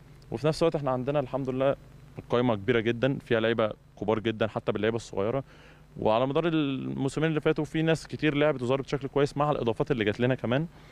يعني أنا شايف إن إحنا إن شاء الله جاهزين لكل حاجة بإذن الله السنة دي. مصطفى شوبير أنا عارف على مدار السنين الماضية جالك عروض إعارة كتير وفرق لكن مصطفى تمسك بالنادي الأهلي والأهلي تمسك بمصطفى شوبير سواء ميشيل يانكون سواء مستر كولر لا متمسك بوجود مصطفى شوبير واحد من الحراس المستقبل مش للأهلي فقط ولكن للكرة المصرية. بص ربنا ما يجيبش غير الخير. آه، كذا مرة آه، كذا عرض جه من داخلين أهو في سنتين كل لما بيجي فترة انتقالات الحمد لله الواحد كان بيجي له عروض. بس الفكرة آه، في في أول وقت خالص الواحد كان حاسس إنه لا مش دلوقتي. بس لما حس إن هو خلاص محتاج يطلع النادي شاف إن مش دلوقتي. فدايما في الآخر قلبت اللي هو لأ النادي مش عايز طب أنت عايز. لأ أنت مش عايز طب النادي وهكذا. فضلنا كده شوية. بس في الآخر يعني على مدار آخر سنة ونص آه، طبعا الواحد نفسه يقعد ونفسه يبقى ليه دور. بس أنا كنتش كنت كانت من وجهة نظري إن الواحد يطلع أعارة أحسن. اللي هو بحيث يكتسب فرصة لعب وياخد خبرة. بس الحمد لله زي ما قلت لك ربنا ما بيجيبش غير الخير في الآخر قعدت وفي الآخر ربنا كتب لك حاجة تانية. ما انت أصلا لو قاعد كاتبها بإيدك مش تكتبها لنفسك بالطريقة دي خالص. تكتب لنفسك إن أنت في ناس كتير ما لعبتش نهائي أفريقيا قبل كده في حياتها. فيبقى أنت أول مباراة رسمية أفريقية ليك تبقى نهائي أفريقيا والحمد لله تتوج بالبطولة كمان فده حاجة كبيرة جدا. عشان كده بقول لك كرم من ربنا وفي الأول وفي الآخر يعني هي نصيحه أنا بقولها لأي حد ما تقعدش تحسب لها. يعني ما تقعدش تحسب لها خالص. أنت سيب ترتيب ربنا هو اللي ياخدك لأن ترتيب ربنا أحلى بكتير من اللي أنت هتقعد ترتبه لنفسك. وفمعسكر النمسا عايز أختم معاك بأجواء معسكر النمسا. توقيته مهم جدا خاصة إن أنا هخلص المعسكر هيبقى عندي آه، بطولة السوبر. أعتقد دوافعها بالنسبة بالنسبة لكم كلاعبين إن أنا أبدأ الموسم ببطولة. أعتقد أمر مهم جدا. بنكرر معاه سيناريو الموسم الماضي لما حققنا السوبر على الزمالك في الإمارات. آه معسكر مهم جدا ومفيد جدا للفرقة وكنا محتاجينه جدا. لأن تاني أنت بقالك قد إيه ما بتعملش معسكر فترة إعداد وإن أنت تطلع أوروبا؟ آخر سفرية كانت أسبانيا من 2019 فأنت بتتكلم إن الطبيعي أصلا هم بره كل سنة بيطلعوا pre-season بتاعهم. إحنا ما عندناش pre-season أصلا. إحنا عندك تلحم الموسم ده من الموسم ده. فهي الفكرة إن أنت قد إيه أنت محتاج المعسكر ده؟ لا محتاجه جدا لأن أنت خدت 20 يوم فصلت فيهم عن الكورة تماما. بعت لنا شغل اشتغلناه آخر 10 أيام. بدأنا نكمل بدأنا نرجع التمرين بدأنا التمرين شدته عالية لغاية دلوقتي عشان خاطر تقف على رجلك لأن أنت هتشتغل أسبوعين هتكمل بيهم 8 شهور تقريبا من موسم كامل أو 9 شهور. فأنت لازم تتعب في الأسبوعين دول وزي ما بقول لك الأجواء هنا تحفة الجو حلو الشمس النهارده طالعة شوية من يومين مطرت علينا ودي ميزة الجو في أوروبا إن أنت دايما عارف تتأقلم مع أي جو وإحنا مبسوطين مستمتعين. المعسكر بصراحة معمول بنظام جدا باحترافية جدا ملاعب تدريب قريبة كل حاجة كويسة كل حاجة بتوفر لنا. إيه أخبار مانويل نوير وياسين بونو مع مصطفى شوبير؟ ما دخلناش في القصة دي عشان في الآخر أنا اللي بيتصفى عليا. لا والله هو لا لا هو طبعا نورت عادي شفته اتصورت معاه عادي صورة عادية ومشيت. سلام عليكم وعليكم السلام. وقلت له آه يا قدوتي وبتاع. بس هو ده اللي حصل بس عادي يعني حكيت اللي حصل. بس الناس تاخدها بطريقة لذيذة أنا الصراحة بحبها يعني. حتى أنا أنا باخدها حتى أنا بضحك عليها وببعتها لاصحابي مش صحابي اللي بيبعتوها لي حتى. اللي بتاعت ناحية برضو ياسين بونو دي هو ال- راجل متواضع جدا ومحترم جدا. كل ما أبعت له بيرد عليا أعمل له إيه؟ ما يردش عليا بعد كده خلاص أعمل له إيه؟ بس. شوبير أوفا أنا بشكرك يا أوفا أتمنى لك التوفيق. آه ومش هنسى يعني كنت اتكلمت على تيكو لكن أنا هختم معاك بوالدتك. يعني في كل مباراة في كل احتفالية أنا دايما بشوفها بتكون برضو وش السعادة عليك يا اوفا لا طبعا والدتي هي الأساس. أنا بقولها دايما هي دعواتها. لا طبعا أنا بقول تيكو عشان بيجي بيحضر الماتشات. والدتي ما تقدرش تحضر ماتشات. في ماتشات كتير جدا كاب لا لا والدتي ما تقدرش. هي حضرت ماتش ماتش الحرس وماتش التتويج. كان التتويج بتاع الدوري وإحنا صغيرين. ده المرة الوحيدة اللي هو كان الدوري خلصان وما لعبتش حتى الماتش ده. فهي كان بالنسبة لها إن الدنيا تمام. أجي أشوف ابني بيحتفل وتمام. لكن هي في الماتشات لا بتقلب الدنيا في البيت. وصريخ وتنطيط وشغلانة. فأنا طبعا لا طبعا أقول لها إيه؟ أقول لها ربنا يخليكي ليا يا أمي أنت كل حاجة بالنسبة لي. ومن غيرك ومن غير والدي ما كنتش هبقى أنا اللي موجود فيه دلوقتي ولسه إن شاء الله اللي كمان. ولو أي حد بيشوف مني أي حاجة كويسة فده بفضل أبويا كرم ربنا عليا طبعا وأبويا وأمي في الأول وفي الآخر. الواحد ما تاني أقول لك الواحد ما بيعرفش يعمل أي حاجة هي ماشية توفيق ربنا. وكرم ممكن يكون ربنا بيكرمك أصلا عشان خاطر والدك ووالدتك بس. اتمنى لك التوفيق. ربنا يخليك شكرا. ممكن تجتهد لكن ربنا دايما هيكرمك عشان خاطر والدك ووالدتك. كلمة كلمة مهمة من مصطفى شوبير. وزي ما قلنا حراسة مرمى النادي الأهلي بخير وفي أمان وجود القيمة والقامة الكبيرة. كابتن مصر ولا ال- ال- النادي الأهلي الكابتن محمد الشناوي مصطفى شوبير وحمزة علاء ومصطفى مخلوف. طمن كل جماهير النادي الأهلي حراسة المرمى الأهلي في أمان من جديد. تعود الكلمة للزملاء في الاستوديو.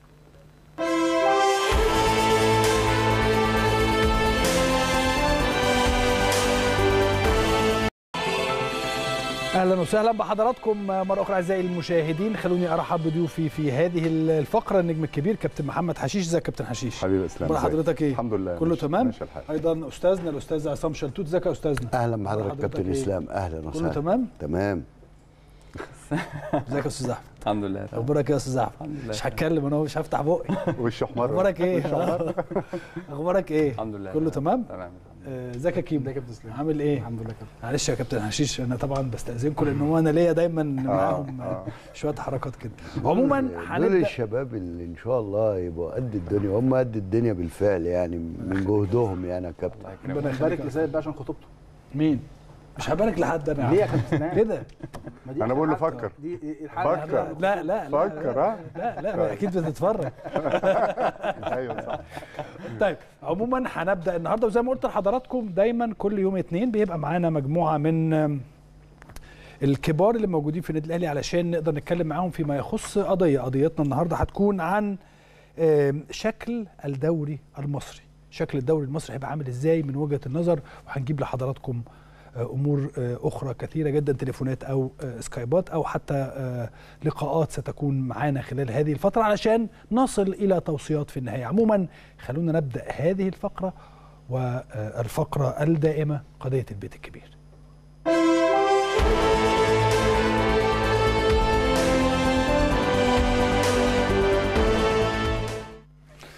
آه، وكالعادة زي ما حضراتكم اتعودتوا معانا هنبدأ هذه الفقرة كابتن حشيش بعد إذنك وكابتن واستاذ عصام وكابتن أحمد وكابتن كريم. هنطلع نشوف تقرير عن الكلام اللي هنتكلم فيه النهارده ونشوف إيه اللي هيحصل في شكل الدوري المصري. وبعد هذا التقرير نرجع بقى نفتح ملف هذه القضية. أهلا وسهلا بحضراتكم مرة أخرى. هينضم لينا في هذا الحوار أيضا الحاج محمود الشامي عضو مجلس إدارة الاتحاد المصري لكرة القدم السابق ورئيس شركة الكرة في بلدية المحلة. آه، يعني ازيك يا حاج محمود؟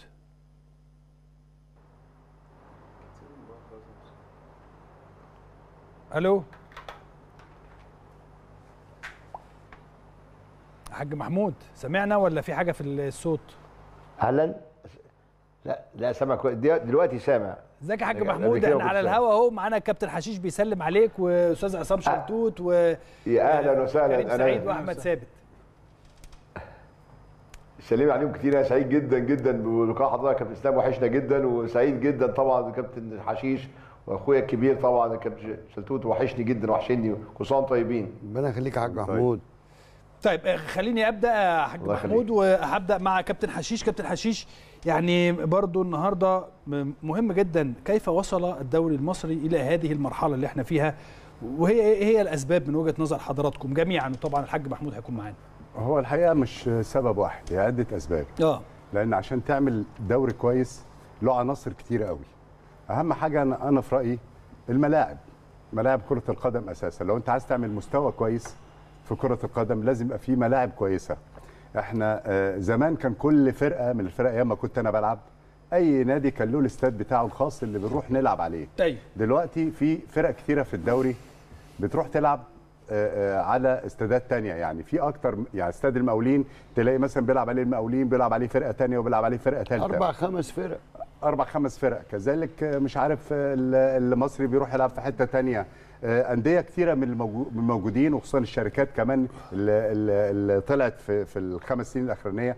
برضو آه، الملاعب آه، آه، آه، قليله. اذا الملاعب الملاعب دي مهمة جدا جدا. آه، تاني حاجة طبعا الحضور الجماهيري. الحضور الجماهيري هو أساس كرة القدم هو الجمهور. عنصر مهم جدا جدا اللي بيحمس اللعيبة وبيحفز اللعيبة إنها تأدي وترتقي آه، بمستواها. آه، أنا بتكلم في عجاله طبعا لأن كل حاجة من دي لها آه، لا طبعا آه، إحنا بنتكلم في آه، الأول في كل حاجة وبعدين ناخد آه، بنتكلم دلوقتي مثلا على التحكيم آه، من ضمن العناصر المهمة اللي ترتقي برضو بالمستويات بتاعه كرة القدم لا عشان ما يحصلش اعتراضات كتيرة وما يحصلش إيقافات وما يحصلش وما يحصلش آه، آه، ال- التحكيم آه، مرتبط بالفار. الفار آه، مرتبط بالتصوير التلفزيوني لازم يبقى فيه آه، تصوير آه، تلفزيوني آه، كويس عشان يقدر الفار ياخد قراراته سريعة ما تبقاش ال- ال- اللي إحنا بنشوفه في التلفزيون هو الفار اللي بيشوفه. لازم يبقى فيه آه، يعني تصوير أحسن من كده. كذلك القوانين واللوائح اللي موجودة لازم تتطبق وتتطبق على الكل. وما يبقاش فيه ده لا طب نستنى اما ن- نبعت لجنة الانضباط. لا كذا في قوانين وفي لوائح تطبق على الكل. كذلك لو هرجع لموضوع الاستادات تفعيل موضوع الكاميرات عشان ما يجيش مثلا اتنين تلاتة يعملوا مشكلة يتعاقب عليها الجمهور كله. قانون. يعني في ال- الكاميرات موجودة تجيب العناصر دي وتبعدها وياخدوا العقوبة. ما يجيش مثلا اثنين ثلاثة يروح آه، اللي ما فيش جمهور بدون جمهور المباراة اللي جاية للنادي الفلاني. القصة دي كلها كذلك لازم يبقى في بقى تنسيق أساسا من آه، آه، آه، الناس اللي بتعمل ال- القرعة وال- والجداول. في أكتر من نادي مشترك في أكتر من بطولة. لازم يبقى في تنسيق معاهم مع ال- المديرين الفنيين بتوع الأندية اللي- مشتركة في البطولات دي. لازم يبقى في تنسيق عشان برضو إحنا عندنا مشكلة طبعا الدوري المصري بيتلعب في مصر في قارة إفريقيا. طبيعة قارة إفريقيا والبعد المسافات بالنسبة للأندية اللي بتشترك في البطولات ال- الإفريقية ده ممكن يأثر برضو على انتظام آه، آه، الجدول. لأن الفرق اللي بتروح تلعب مثلا في جنوب إفريقيا دي محتاجة فترة كبيرة فبالتالي هيبقى صعب. تمام. لازم يحط سيستم كامل للموضوع ده لأن هي طيب. مش عنصر واحد يعني. أستاذ عصام. ما هي يا كابتن كل يعني العناصر هي موحدة هي تحتاج بس بعض الشروح لكن ليه, خلونا نلاقيها وكأن إحنا بندور على اختراعات سبقنا ليها ناس؟ بالعكس الملعب الأرضيات يعني. متاح جدا و available إن إحنا نعمل ده من 20 سنة مش دلوقتي والدليل إن في شركات بتاخد الشغل ده حتى الآن وكذا. لكن بتعمله في أنهي category بتعمله هو ده ولا لأ؟ وفي نفس الوقت فكرة التوافق على إيه؟ يا عم مش مشكلة. يعني إيه مش مشكلة وإنت لا قادر يبقى عندك ملعب؟ مع إن بعض المحافظات اللي فيها أندية إذا لم يكن النادي نفسه يمتلك تلاقي المحافظة عندها تلاقي الجامعة عندها. يعني والمحافظات كثر اللي فيها ده ده ده في في في الصعيد أكتر من محافظة في في أسيوط دي مدينة كاملة بتاعت احدى الشركات. الله يرحمك كابتن جاري وهي ذكرى هذا العظيم يعني امبارح. آه لا ده ده انت عندك مكان وكأنك في فيينا دي كده في يعني المنطقة اللي أبعد من العاصمة حيث التدريب بقى متاح وكذا. وبالتالي يا كابتن كل الحاجات اللي قالها كابتن حشيش عشان لا نعيد يعني ترتيبها أو ذكرها هي العناوين الرئيسية آه. مين يشتغل على ده ما أسهله مين يقدر يعمل ده بدل ما إحنا. كل شوية تقصد بالظبط. بدل ما كل شوية واحد يقول لك اركن على جنب ويقول لك بص إحنا عندنا أنت عندك أحسن أرضية عندك تصوير رغم إن إحنا مخازن تلفزيوننا فيها أفضل الكاميرات أفضل مهندسين أفضل مخرجين للأمانة لكن إدارة المحتوى وإدارة الناس الإدارة مش بقى بتاعت الحكام يقول لك المانجمنت لا يا حبيبي الإدارة بتاع الإدارة مش والتخصص. إدارة والتخصص حيث عايز تجيب شلتوت مع الكابتن إسلام عشان حبيبه لا- لازم تجيب كابتن حشيش وثابت وكريم.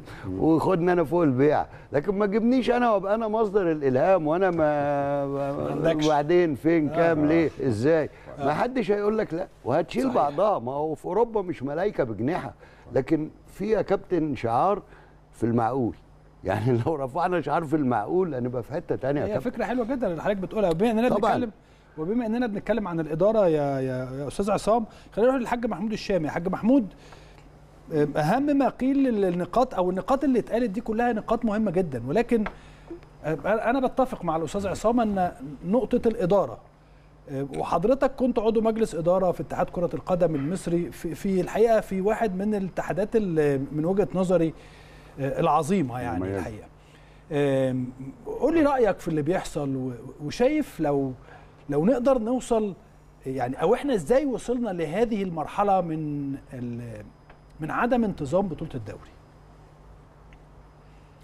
بسم الله الرحمن الرحيم. طبعا يعني آه، أنا عايز أقول إن الكرة المصرية بتمر بأصعب فتراتها حاليا لأنه لاسباب عديده اولا الم- المتغيرات السريعة جدا يا كابتن يا كابتن إسلام اللي حصلت في الدوريات اللي حوالينا.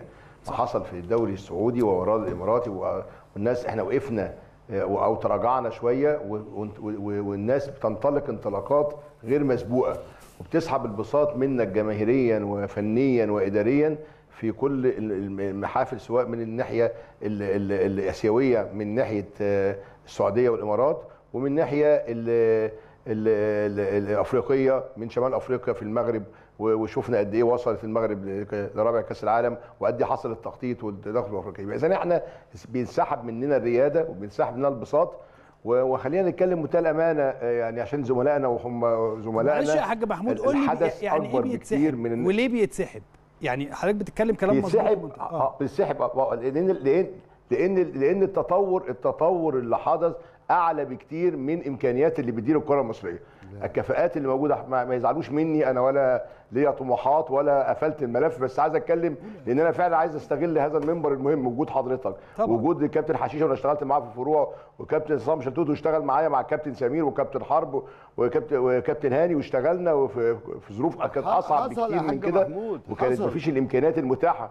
لا في إمكانيات يا آه حاج محمود لكن توظيفها إحنا إحنا أستاذ ما أنا حضرتك عايز بس أقول- عايز أقول توظيف الإمكانيات يا حاج محمود اتفضل. يعني لا توظيف الإمكانيات يا حاج محمود أنا عايز أقول ما- عايز ما أوضح عندناش في عايز مصر أوضح حاجة أكتر من جداً. إنك تلاقي إداريين مطلعين ما عندناش في مصر اسهل إنك تترجم أنا- خمس دوريات وتخليها بالعربي ما حدش على- عايز فتاوي بس لكن ليه ما حدش فاتنا أنا عايز أتكلم غير. عشان إحنا بنسيب ده يا حاج محمود بس عشان لا هنخلي نقصه حضرتك تتكلم يا حاج محمود على. نفسنا. وبعدين حضرتك قول بقى باعتبارك جوه مطبخ نادي ثم اشتغلت في مجلس آه. الحقيقة كان مجلس بيحترم الكرة المصرية نوعا صح. ما لكن في نفس الوقت ما حدش يسحب مننا فكرة إن كل الحكاية تعطيل ها عن جهالة عن تعمد عن عدم قدرة على المتابعة يا راجل إحنا طالبين ترجمة. طالبين ترجمة للخمس دوريات ومشروع الفيفا اللي طيب. الكل طبقه ما بقتش شمال أفريقيا ده بقى غرب ووسط وجنوب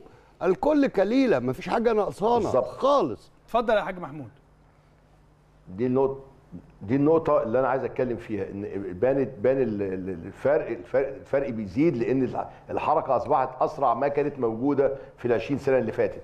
آه، إحنا آه، آه، مشكلتنا في و- و- وأنا بشكر الحقيقة كابتن حشيش إن هو في أقل من خمس دقايق اتكلم في في المحاور الرئيسية الخمسة اللي إحنا نتمنى إنهم على أرض الواقع ونفتح لهم ملفاتنا ويبقى ده محور كلامنا في ال- ال- اللقاء النهارده لأنه ده نقطة مهمة جدا جدا جدا. النهارده أنت حتى الآن مش ما عملت مش بدايه الدوري أنت ما عملتش القرعة. فحضرتك النهارده أنا ممكن أنا نادي يفوجئ إن هو بيلعب في الجونة المفروض يسافر بعد خمس أيام. فالتوقيتات ففي صعوبات شديدة جدا جدا. عايزين أتكلم في إيه المشاكل اللي موجودة وايه حلولها لأن الحلول آه، آه، واضحة جدا ولكن عايزة جدية. والحقيقة عايزة ناس مقاتلة. يعني عايزه لأنه لأنه الملفات الخاصة بتطوير الرياضة المصرية. وزي ما قال الكابتن عصام ما فيهاش اختراعات هي واضحة جدا. هي معايير من بقى أكتر من 25 سنة. آه، محتاجة بقول لحضرتك كفاءات. وكل واحد يشتغل شغلته وتكون دي شغلته اللي هو فاهمها ما يكونش بيأديها بدون فهم أو بدون خبرات سابقة بيستدعيها وقت الأزمات. لأن كرة القدم ما هياش حاجة بس لوائح وقوانين هي خبرات. خبرات التراكمية دي ما بتظهرش إلا في الشدائد وفي التفاصيل. ما أقدرش إن أنا أفتح الصفحة الفلانية أحل أزمة أو مشكلة. فلازم يبقى في الكوادر والكفاءات اللي موجودة والتنسيق الم- المستمر ما بين الروابط وما بين اتحاد الكرة المصري وبين لجانه المستقلة ولجانه ال- ال- الأساسية الفنية. خلية نحل ما بتنا- 24 ساعة وفروعه عشان تعدي الأزمة ويقدر ينطلق ويساير ال- التطور اللي حصل في الدوريات الأخرى في آه، آسيا وأفريقيا. طيب آه، آه، أحمد اتفضل يا كابتن حشيش قبل ما يعني أنا عايز أقول يا حاج برضه هي القصة يعني شغل أعضاء مجلس الإدارة ده المفروض إن يبقى شغل كتير جدا ومجهود كبير جدا جدا. القصة ما تبقاش محصورة في ملفات بس المنتخبات. الدوري أساسه لو اتعمل صح هو اللي هيوصلنا لمنتخبات كويسة. إنما إحنا بنيجي في الآخر نلصم بس المنتخبات بتاعتنا. آه، طبعا بمشاكل اللي أنت حضرتك عارفها بتاع فكره المنتخبات. فك فك صح. الفروع كمان. لا وفكرة يا كابتن حشيش إن الروابط الروابط هي اللي شغالة في في الكور في الدوريات. والاتحاد والاتحاد يشتغل في المنتخبات ده كلام معلش آه ه- كلام هاوي الكلام المحترف هو الامبريه الأساسية هو الاتحاد المصري لكرة القدم والتنسيق كامل ما بينه وبين الروابط وما بين. إن أصلا اللي زي ما حضرتك عارف طبعا انت شغال في منطقة القاهرة واشتغلت معانا سنين يعني إيه حضرتك تشتغل بدوري واحد من غير ما تربطه بدوري المحترفين وممتاز بيه والمراحل السنية وقطاعات الناشئين هي هي ملف كامل ورؤية كاملة يعني معلش يا حاج محمود أنت هنا بتتكلم عن إن رابطة الأندية تكون والثالث. تابعة لاتحاد كره يعني الأساس يبقى في اتحاد كرة القدم؟ لا, لا مش تابعة. حضرتك في تنسيق كامل بشبه كامل. حضرتك ما ينفعش أقول أنا اللي باخد الملف ده لوحدي واتحاد الكورة بيدير حاجة لوحده. الجزر المنعزلة دي آه. في كرة القدم مستحيلة. يا ريتها- يا. ريتها جزر يا حاج. اتكلم الكابتن حشام على موضوع الملاعب. لا ال- زي ما الرابطه اتكلم على أساسا موضوع الملاعب. زي ما اتكلم على يا حاج حمود الرابطة أساسا معمولة غلط. اتفضل. يعني إحنا عملنا رابطة غير كل الروابط اللي في العالم. في العالم بورد ثم معاه خبراء تسويق ثم معاه خبراء في آه، البث عشان يبيع ثم بيبقى ضمن الخبراء دول دول إيه مستخدمين مش خبراء اللي هو عامل شعره كده وبيكس وبتاع لأ. ده اللي هو زي أحمد وكريم ما شاء الله. تقول له تاخد 10 يقول لك لا عايز 300 لأن. أدخل لك 500 فالتاني يصرف عليها على الملعب وكذا.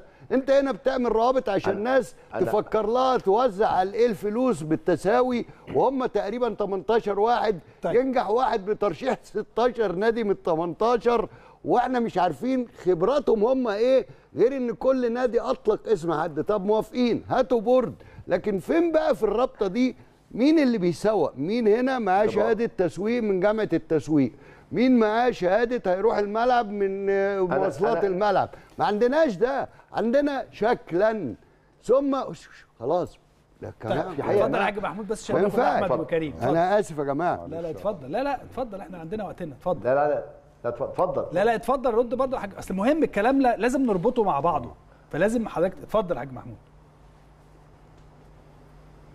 آه، أنا عايز أوضح بس حضرتك إحنا لما لما- لما رئيست الرابطة في 2016 الشباب اللي موجود ده وكان معانا محمد بدري وكان معانا الأستاذ زياد عمار هم دول اللي حضرتك بتقول اللي هم بيعملوا الأفكار والحلول التسويقية والنقط ال- ال- اللي موجودة اللي بت- اللي بتطور زي زي وأنا عايز أقول لك بمنتهى الأمانة لما لما اشتغلنا في 2016 لقينا اللي ماسكين كل الناس اللي بتعمل الأفكار والشغل الايفنتات اللي موجودة في الامارات والسعودية كلهم مصريين. كلهم. الشباب اللي حضرتك قاعد معاك ففعلا حضرتك أتمنى الرابطة في الموسم ده تبدأ تستعين بهذه الخبرات زي ما حضرتك بتقول وتضم هذا الشباب اللي إحنا بنشوفه في كل المجالات دلوقتي وواعد جدا وعنده أفكار تسويقية وت- وتطوير الكرة المصرية آه، وهم بدأوا خطوة الحقيقة في في موضوع أحسن لاعب في شغل لكن الشغل العام والرؤية العام لابد النهارده يطلع لنا استراتيجية كاملة تقول لنا الموضوع الملاعب لأن إحنا برضو عندنا آه، الفوضى حصلت كتير جدا جدا هي اللي عملت المشكلة اللي اتكلم عليها كابتن حشيش إنك أنت بتلاقي نادي بيلعب على خمس ملاعب وست ملاعب اللي هو استحواذ الشركات بدون دراسة على الدوري المصري بدون برؤيه برؤية لو كان بيتطبق التراخيص والمعايير اللي حطها الاتحاد الدولي من 2007 ل 5 عمرنا ما كنا هنشوف البنك الأهلي عنده نادي وزد عنده نادي واحترامي كامل اللي هو ده- دول اللي إما يستحوذوا على أندية محافظات يوسعوا قاعدة لا إما يكونوا لهم قدرة تسويقية ودعم كرعاة بدل ما يكونوا أصحاب أندية. منافسة في حتة واحدة وأصبحت كرة القدم كلها في مكان واحد بنلاقي ان استاد القاهره فيه سبعة ثمان منتخبات آه، أندية أندية. أربعة خمسة من الدوري الممتاز وثلاثة من الممتاز به وب- وبدأت الدنيا والملاعب تنهار. إحنا عندنا مثلا دلوقتي نادي البديل لما طلع المحلة بيمثل سبع سبع محافظات ما عندهمش نادي موجود. ما كانش موجود الكلام ده زمان. كان السويس بيبقى موجود وكان شبين بتبقى موجودة وكان الم- المتعة موجودة وكانت ممكن يحصل التطوير والاستحواذ والتسويق في ظل الأندية اللي موجودة بتمثل محافظات وتمثل مدن. عشان متعة الجماهيرية. كمان ال- ال- ال- ال- المباريات التأخير قوي قوي قوي الاعداد وتحديد الأعداد المحدودة في الماتشات الدوري. آه، ان الأوان ان الدوري يرجع ده بالنسبة لرونقه للجماهير ويرجع هنا يا حاج. هيبته الحمد لله إحنا بننع العدد الجماهيري النسب عدد العدد آه. يعني يعني أتمنى قرار ال 50% اللي هو اللي يطبق فعلا من الساعة الجماهيرية لأن إحنا محتاجين جدا طيب. عودة الجماهير بحقه حقيقي لل- للكرة طيب. المصرية والاتحاد تمام أحمد برضو واسف يعني اتدخلت يعني وأنا آسف لا لا لا جداً. بالعكس ما إحنا كلنا يعني ما فيش مشكلة خالص أحمد برضو في إطار الكلام آه، اللي إحنا. بنتكلمه ده مهم جدا جدا آه، نعرف وده الأهم دلوقتي. إحنا خلاص الكابتن حشيش قال خمس أربع خمس أسباب مهمة جدا وهي الأساس. أستاذ عصام قال حاجة ثالثه أنا بشوف إن تطبيق القانون تطبيق القانون يعني أنا كنت بسمع ملك وكتابة من شوية بتفرج على ملك وكتابة. مهندس عدلي وهو بيتكلم على عدم تطبيق القانون في ظل آه، يعني في السعودية. تقدر تشوف حد من اللاعبين أو من المدربين أو من الجماهير يقدر يعمل حاجة ولو عمل حاجة عقوبته بتبقى شديدة جدا وده ما بيحصلش في مصر ده ليه بقى؟ عشان هم عندهم لائحة، اللائحه دي معروفة آه. من بداية الموسم كل الأندية تبقى عارفة اللائحة، يعني العقوبة موجودة. مفيش بقى بتحصل زي القيد مثلا، زي أزمة القيد اللي حصلت مثلاً. في الفترة الأخيرة النادي بيتأجل له ثلاث أيام القيد، بتأجل فترة القيد ثلاث أيام دي عمرنا ما شفناها، أو نادي بيحصل في يناير بيأيد اللي هو المفروض القيد الشتوي في يناير آه. بيأيد صفقاته في فبراير. بتحصل بس في مصر. الكلام ده ما ينفعش يحصل. الكلام ده بيحصل بس في مصر. لازم في الدوري المصري يعني. لازم الحاجات دي تتعدل. على فكرة بالمناسبة إحنا اللي وصلنا له أو ترتيبنا حاليا بالأرقام. إحنا الدوري رقم 113 على العالم. بالأرقام. موقع آه، team form الإنجليزي عمل تصنيف لأقوى الدوريات على العالم. آه. الدوري المصري لو نستعرض ال- الاحصائيه هنلاقي إن إحنا طبعا أقوى دوري في العالم الدوري الإنجليزي الدوري الأسباني بعد كده الدوري الإيطالي الألماني ده قبل ما الصفقات تحصل بتاعت الدوري السعودي يعني. ال- ال- الإنجليزي بعد كده الأسباني بعد كده الإيطالي بعد كده الألماني بعد كده البرازيلي. دول أقوى خمس دوريات في العالم. تمام. الدوري المصري ترتيبه ال 113 على العالم وده ترتيب بالنسبة هل لمصر. تسبقوا أي دوريات آه، عربية أخرى؟ آه، المصري الرابع على أفريقيا. رابع أول أفريقيا. أقوى دوري في أفريقيا الدوري المغربي. مغربي. يليه الدوري ما هو الجزائري. ده الكلام اللي كان بيقوله الكابتن حشيش والحاج محمد والأستاذ عصام إن هو المغرب عدتنا بكتير. المغرب وال- عدتنا والجزائر وتونس وبعد كده مصر. يعني حتى لو نستعرض معانا الصورة الدوري المغربي الأول الدوري الجزائري الثاني الدوري التونسي الدوري المصري. أدي دي الإحصائيات الدوري شوف أنت المصري بقى أهو. أحمد تاريخ الدوري المصري بالنسبة للدوريات دي إيه؟ آه، الدوري المصري. ترتيبه كام؟ 113. 113 ده دول أقوى دوريات في العالم الإنجليزي الأسباني الإيطالي الألماني. كمل. برازيل فرنسا هات اللي بعدها دي أهم تركيا. واحدة اللي هي اللي جاي هي ديت. آه. الدوري المغربي أهو واخد 64.5% بعد كده الدوري الجزائري 63.2 من عشرة. بعد كده الدوري التونسي 62% بعد كده الدوري المصري 59 يعني الدوري المصري بقى رابع يعني أفضل دوري. المفروض الدوري المصري طول عمره رقم واحد في أفريقيا. من إيه الأسباب اللي وصلتنا لكده؟ آه. أنا بشوف إن أول حاجة إحنا محتاجين لازم الاقتراح ده يبقى موجود إن إحنا لازم نقلل عدد الأندية في الدوري المصري لازم لأن دي بتعمل مشكلة كل سنة أنت عندك 18 نادي ب 17 مباراة في اتنين ب... كل نادي بيلعب 34 34. فبتضطر إن أنت تخلص الدوري 1 9 و1 10 طب ليه ما يكونش في فكرة من الأول أصلا إن أنا أبلغ الأندية يا جماعة إن هيبقى في اتنين كمان زيادة في الهبوط ويبقى النادي 16 يعني الدوري يبقى 16 نادي.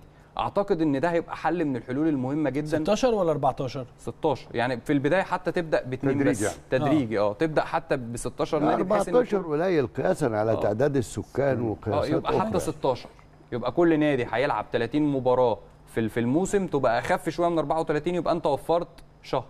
دي أول حاجة. الحاجة الثانية بشوف إن لازم لازم يكون في رئيس. رئيس حكام أجنبي صاحب شخصية قوية زي كلاتنبرج كده لما كان موجود.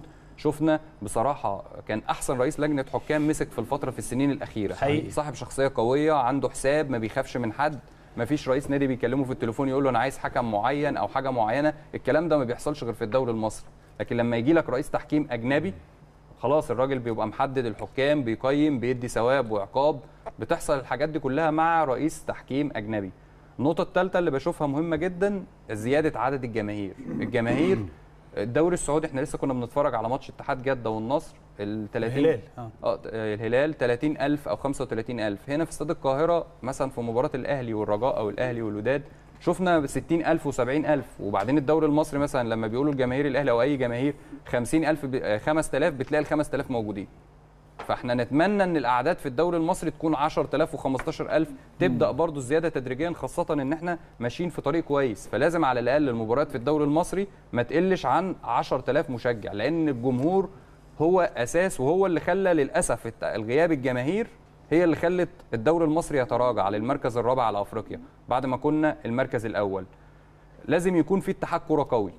اتحاد كوره قوي يعني إيه؟ الإدارة اللي كنا بنتكلم آه، فيها صحيح. اتحاد كوره قوي يعني إيه؟ يعني أنا ما بخدمش مصلحة نادي بس وبسيب باقي الأندية. أو أنا مثلا بستنى القيد لنادي معين وأسيب باقي الأندية. لا أحل زي ما أحل مشكلة نادي بحل باقي المشاكل.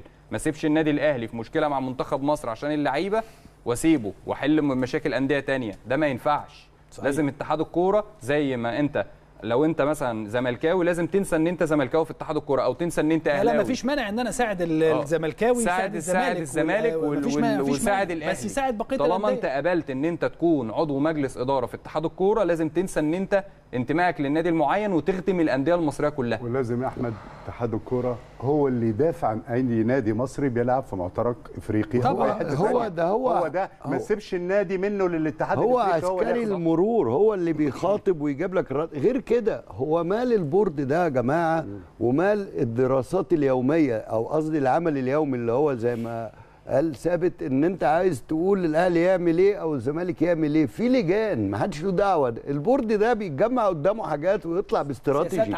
بالظبط. بس هو ماله هو. يقعد كل يوم يشتغل أو هو داخل بقى كده رئيس. الاتحاد. كل يوم يتم انتقاده. هو عندنا إيه النهارده؟ نعم. هسأل حضراتكم سؤال. هل حد يعرف جايزة مالية للدوري المصري للبطل؟ لا طبعا. طب إزاي يبقى الدوري المصري ملوش جايزة مالية للبطل؟ عشان ما حدش مسوق ما أنا بقول لك يا أستاذ ده أنا معتمد على الله وعلى جيلكم إن هو يقول إن اللي بره ده مش بنات أفكار ناس دي ناس ترجمت صحيح. كل لازم- حاجة لازم لكذا لغة جايزة مالية. لكذا لازم يبقى في لغة. جائزه الدوري مالية يا كريم. اذا هنا برضو بنتكلم على نقاط مهمة جدا. إحنا اتكلمنا في عدد كبير من النقاط. حضراتكم والحاج محمود اتكلم في عدد كبير من النقاط. لو تقدر برضو تقول لنا وجهة نظرك في هذا الأمر. لا إحنا نروح بقى لل... للمعلومات دلوقتي. اتفضل. واحد خلاص استقر اتحاد الكرة على إقامة الموسم الجديد ده قرار رسمي خلاص منذ 10 دقايق. آه. استقر اتحاد الكرة 10 على دقايق بس؟ آه تصريحات رسمية من كل من الحاج عامر حسين والأستاذ أحمد دياب. الموسم الجديد 34 أسبوع. قرار رسمي. الشكل القديم آه. يعني مفيش أي تغيير في شكل الدوري. الحمد لله فهمنا حاجة. سوف يتم إعلان 30 أسبوع يوم في قرعة الدوري. وسوف 30 أسبوع؟ 30 أسبوع كويس وسوف جدا. يتم الإبقاء على أربع أسابيع في نهاية الدوري طيب الجاية دي بقى بصراحة اللي جاية دي طب 30 أسبوع جديدة. يخلص كام لا يعني لا لا قصده هيقولوا هيعلن جدول. 30 آه، من غير الجدول ترتيب. آه آه. هيبقى بس مش آه. يعني عن آخر أربع أربع. أسابيع هو ده هو ده اللي قاله آه هو قال لك اللي جاية دي جديدة بقى هي دي الجديد. دي الفزورة الميعاد المقترح لنهاية الدوري ال 34 أسبوع آه، 30 يوليو 30 إيه يوليو دي إزاي؟ يوليو. معرفش. يقول- طب ما تحاولوا. يا شباب حاولوا تجيبوا لنا الحاج عامر نفهم منه برضه. هيبدا الدوري في 15 أو 16 سبتمبر مثلا يعني 34 أسبوع وإحنا يعني حسبنا إيه هنا. مثلا؟ هو قال إن هو هيبدأ آه إمتى؟ آه, آه في- قال في منتصف سبتمبر. okay. يبقى اللعب كل هيخلص- 48 أيا كان، ساعة ده, بقى. ده, ده, ده عشان يخلص عشان يخلص. أنا في وجهة نظري. 30 يوليو كان لازم يبدأ 30 يوليو اللي فات. آه. آه والله. لا المسافات قد إيه يا كريم؟ أيوة. بين الماتشات إحنا هنا في قناه الأهلي آه. حسبنا بالورقة والقلم عدد الأيام المتاحة لإقامة الدوري أيوة، السنة ده اللي بقوله كام. يوم 154. 154 يوم. تمام.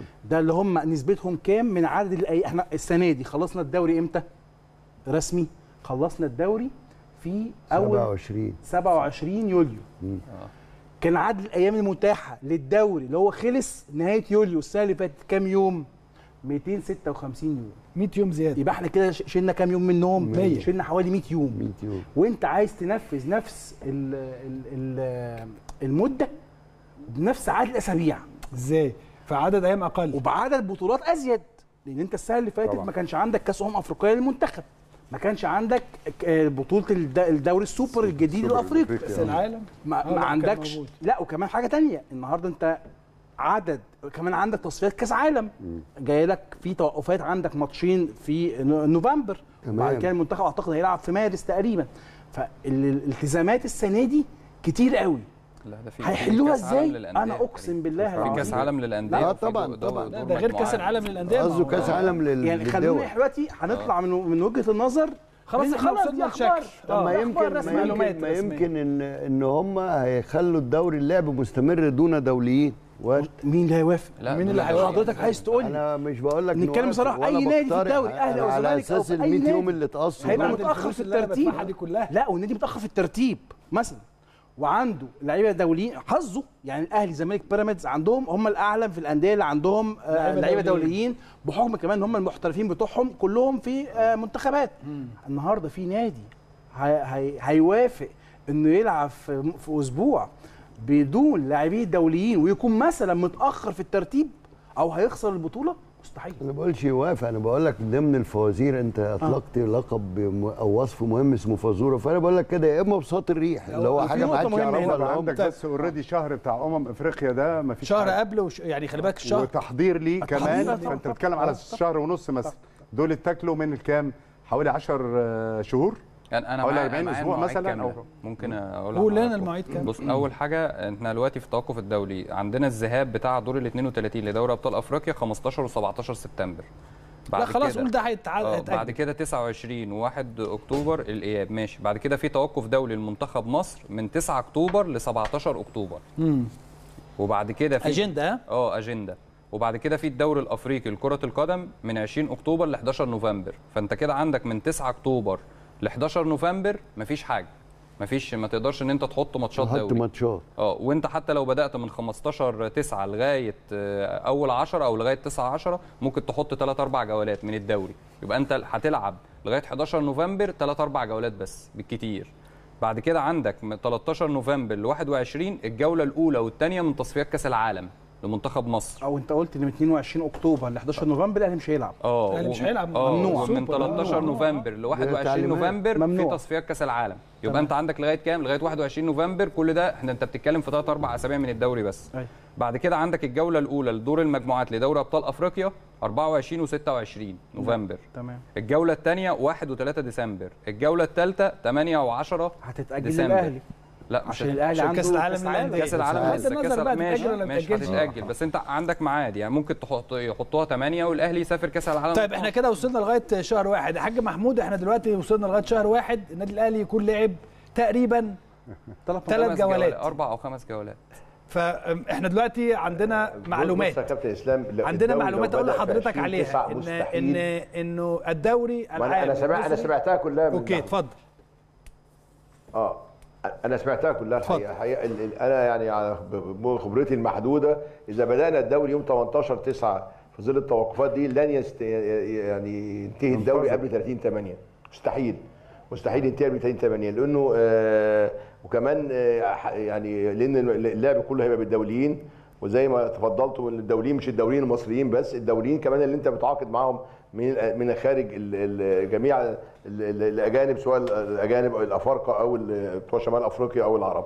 فإذا إذا أنت قدام النهارده دوري آه، كان لازم كان لازم يبقى فيه موسم استثنائي يبدأ من آه، من نص 8 أو عشان نقدر نعمل على الأقل قبل التوقف آه، سبع ثمان أسابيع تأخير ل 18 9 مخاطرة كبيرة جدا جدا. كمان عندك آه، كاس مصر موجود وعندك كاس رابطة فأنت بتتكلم النهارده آه، وعندك السوبر الجديد ال- الكاس القديم. الرباعي والكاس آه، القديم. اللي موجود للمصري غير غير السوبر الأفريقي. وعندك كاس القديم فإذا أنت آه، في في ظروف لا أنت يعني آه، مخاطرة كبيرة جدا وأتمنى يعني ن- ن- ن- ن- نسمع ال 30 أسبوع دي يبقى يعني ننتهي ال 30 أسبوع 30 7 يمكن عايز أقول كده إنه يفضل أربع أسابيع برضه هتبقى هتبقى يعني معجزة كبيرة إنها تحقق. يبقى اذا إحنا قدام أزمة جديدة. كمان كمان اللعب بقى هيبقى كل يومين أو ثلاثة فأنت حضرتك ده كمان إجهاد رهيب جدا وفنيا الرؤية أتمنى بقى أسمع الرؤية الفنية من كابتن حشيش والناس الفنيين كلاعيبه كره القدم في إنك أنت تقدر تحط الأحمال الس- السريع في بداية الدوري تلعب كل ثلاث أيام وأربع أيام. وترجع تتوقف آه، 40 يوم وتلعب كل يومين ثلاثة وترجع تتوقف 40 يوم. آه، إحنا بن- بنخاطر بتصفياتنا المنتخبات. إحنا في أزمة شديدة جدا بصراحة. وترتيبنا والموسم ده موسم خطر جدا. كنت أتمنى إن إحنا آه، اللي- الصعاب اللي يكونوا عاوز يكون ده آخر موسم يتم فيه لكن واضح إن إحنا كمان هي- هيستمر ال- ال- الضغوط وهتستمر التخبط في الموسم ده هيبقى صعب جدا بداياته صعبه جدا وأعتقد يعني مش مبشره لأنه اتزنقنا جامد في البدايات. والبداية هي اللي بت- اللي بتحكم من صحت بداياته وصحت نهايته التأخير التأخير مع الارتباطات اللي معلونه ومسبقة ومعلنة معروفة كأجندة دولية أو أجندة أفريقية آه، ومن غير ما نعلق أي شماعات على التصفيات كان لازم يتعمل حاجات استثنائية. كان لازم بدل ما بشترك بأربع فرق أشترك بفرقتين. أمور كتيرة كان ما حدش. هيوافق على ده يا حاج محمود. اسمع بقرار بكاس مصر بدون ما ما حدش هيوافق على الكلام ده نعم ما حدش هيوافق يعني انت لما تيجي تقول لي مثلا ما هو حضرتك ما خلاص ما خلاص ما انت ابعدت واعلنت ما هو حضرتك كر... بص حضرتك انا إحنا بدانا بدأنا الكلام يا فندم في ان ده إحنا ب... بنتراجع فنيا وتسويقيا طيب وترتيبيا وزي ما قال الدكتور أحمد ثابت في الترتيب بقينا ال 113 فإحنا دلوقتي ما عندناش خيارات إن إحنا لازم حاجات جراحية وحاجات تبقى واضحة الاستراتيجية طب ما انت عايزة الإدارة بقى. لوقف النزيف ده و... و... و... عايزة الإدارة آه، إدارة قوية. وانطلاق لا وحلول بقى لازم حلول. آه لازم لازم حلول ولازم ولازم حاجة يتفتح حوار مك... رياضي مجتمعي كبير على أعلى مستوى ل- لوضع استراتيجيه لمستقبل الكره لا والنبي يا حاج محمود. شايفينه لا، كلنا كناس أنا عايز مهتمين أقول حاجة. لا عايزين عايزين أي- أي- خبير أي خبير عشان دولي بجد يا كابتن حشيش والنبي بلاش حوار استراتيجي على مستوى الأمة. عايزين بلاش. حد يجي بعد إذنك. يضع روشتة. لا لازم يا حاج محمود أرجوك بس أكمل. الجملة بس. في أسماء كتيرة جدا الشباب يعرفوها أكتر. مني. شغلتهم في الفيفا والناس دي بتسيب صح. كروتها في الجولات في الاتحادات صح. القارية والأهلية صح. شغلته يجي يعمل صح. لك ده زي ال consultات كده في مصانعكم بقى ما شاء الله أنتوا بتوع business وعارفين يجي يقومك ويعومك ويعمل لك كل حاجة. لكن حوار صح. استراتيجي وواحد أستاذ يقول لك. صح. أصل إحنا هنلعب السنة الجاية وواحد يكلم واحد في التليفون يقول له. الحل عندي أنا ما يهمكش قابلني بالليل أجي لك نفتح وليد يفتح لا لا، أنا مش أهم, قصدي كده. أهم حاجة أي إصلاح في الدنيا لازم يبقى فيه تضحية. وخ... مش هينفع. من غير كونسولات يا لازم- كابتن يا قرارات. كابتن طب أنا ممكن أقول لكم. حاجة بعد أنا إذنك بس. استاذنكم إحنا محتاجين كونسولات ومش هتكلم تاني كونسولات. إذا كنا هنعمل جراحة نعملها في طيب. أي مستشفى عالمي. يجي طيب. ينقذ هذا الإنسان. الكروي على كلام الأستاذ عصام الاتحاد العراقي تعاقد مع الليجا الليجا الاسبانية لإدارة الدوري ال- العراقي لمدة أربع سنوات. ويتم تطبيق الفار وفي نفس الوقت آه، تعمل كوادر عراقية لإدارة المسابقة بعد كده. والسعودية عملت كده؟ آه بس أنا بقول لك العراق. ما إحنا قلنا قبل, موضوع التحكيم لما جه كلاتنبرج واحدة من أفضل التجارب التحكيمية الإدارة التحكيمية في مصر في آخر 40 سنة. صح. والناس تكاتلت ضده لسبب واحد بس إن الكرسي اتشد من على الشلة اللي ماسكة اللجنة. دي الح... نتكلم بصراحة. يعني خلينا النهارده تبقى حلقة الصراحة. حتى من شوية الأستاذ أحمد دياب والحاج أمل حسين والأستاذ ثروت سويلم الثلاثه هم الوحيدين اللي بيتكلموا على شكل الدوري. الحاج أمل حسين كان واخد ترند لوحده. كان بيقول أنا شايف بعد الدراسة وكان فعلا واضح إن هو بيسمع اللي بيتقال هنا هو في القناة واللي بيتكتب على بعض المواقع. تمام. إن الموضوع السنة الجاية مستحيل. صعب جدا. وهو كان بيقول أنا برشح الشكل البلجيكي اللي قاله لي الكابتن حازم هو قال كده بالأسماء. قال هنعمل دور واحد وناخد ثمان أندية زي تونس. تونس بقى لها دلوقتي دي السنة الثالثه اللي بيلعبوا فيه الدوري من مجموعتين وبيعملوا بطولة النخبة من ست فرق. والدنيا ماشية كويس. لأن الشكل ده هيقلل لك زي ما إحنا حسبناها بره قبل الهوا بيتخفض 10 أسابيع. 10 أسابيع. آه بدل 4 آه 10 أسابيع. بدل ما 10 أسابيع دول 4 أسبوع هتلاقي ولا شهر؟ 24 شهر. هنشيل شهر- 10 أسابيع. الأسبوع. شهرين ونص. كام؟ شهرين يبقى شهرين ونص. آه. يبقى إحنا كده هنوفر وقت. طبعا. السؤال هنا بقى. هل في أي مسؤول يا كابتن إسلام؟ وهو بيقول لا إحنا هنلعب الدوري الجاي من 34 أسبوع. المبرر. يعني إحنا إحنا بنقول عايزين يا جماعة الموسم ده يتلعب. من دور واحد وتاخدوا بطولة نخبة في مبرر إيه هو المبرر إن أنت عندك ضغط بطولات وعندك 150 يوم آه. دي وجهة النظر والأسباب بتاعتها الخص لك يا كريم بقى. بس كلمتين اللي أنت قلتهم دول اتفضل. لازم تتوحد المصالح لا طيب ما هي إيه- إيه- مصلحة إيه- واحدة. لا لا معلش ما ينفعش السؤال- انت- معلش بس لا آه. لا ما هو في نقطة مهمة معلش تمام. الكلام واضح للسادة المشاهدين تمام. دلوقتي المسؤول القرار كويس لما يقول القرار لازم يقول إيه مبرراته طبعا هو ما احترمناش أصلا. هو قال لا يا جماعة ما فيش الكلام ده. وأنا في مداخلة للأستاذ ثروت سويلم لما كان مختلف مع الحاج عامر حسين. النهارده الحاج عامر حسين راح للفريق الثاني النهارده هو بيقول لا مش قد تكون الأندية؟ لا. مش موافقة على الكلام ده؟ ما هو حدش يتكلم. ما هو لا ما هو. ما حدش يتكلم لأنه شكل لا الدوري لا، أنا فاكر التصريح اتقال بالظبط. لا لا لا لا ما فيش الكلام ده يا جماعة ولا دور واحد ولا فيش. إحنا الأفكار الفاشلة دي مش هنعملها. إحنا الدوري الجاي من آه زي ما إحنا. طب هل انت السؤال. شاركت الأندية في الكلام ده؟ لازم- لازم يكون؟ في استفتاء. لازم تكون في. لازم تشارك الأندية. أقول لك أقول لك حاجة. بعض. أقول لك حاجة. حاجة أخيرة أنا هقولها. اتفضل. أنا بقول أهو النهارده إحنا في التاريخ 5 9 آه. إحنا عندنا الساعة 12 الموسم الجاي افتكر. بالمنافسه بالمنافسة اللي هتحصل الله أعلم تجديده لأن إحنا الأندية فعلا بصراحة عملت يعني تدعيمات قوية خصوصا بيراميدز مثلا. نادي بيراميدز تمام. واحد من الأندية اللي عملت تدعيمات قوية جدا جدا جدا. معاه سكواد حلوة جدا الموسم الجاي ده أنا بقول أهو يوم 5 9 2023 الموسم الجاي مهدد في أي وقت إنه يتلغي. ليه؟ لأن مع تقدم التنافس مع عدم وضوح الأجندة مع إن أنت ممكن النهارده تفكر في كلمة اتقالت النهارده إحنا هنشوف موضوع أزمة ماتشات الأهلي. دي اتقالت تصريح رسمي النهارده من الحاج عامر حسين. هنشوف الموضوع. طب يعني إيه هنشوف الموضوع؟ طب ما أنت خدت القرار.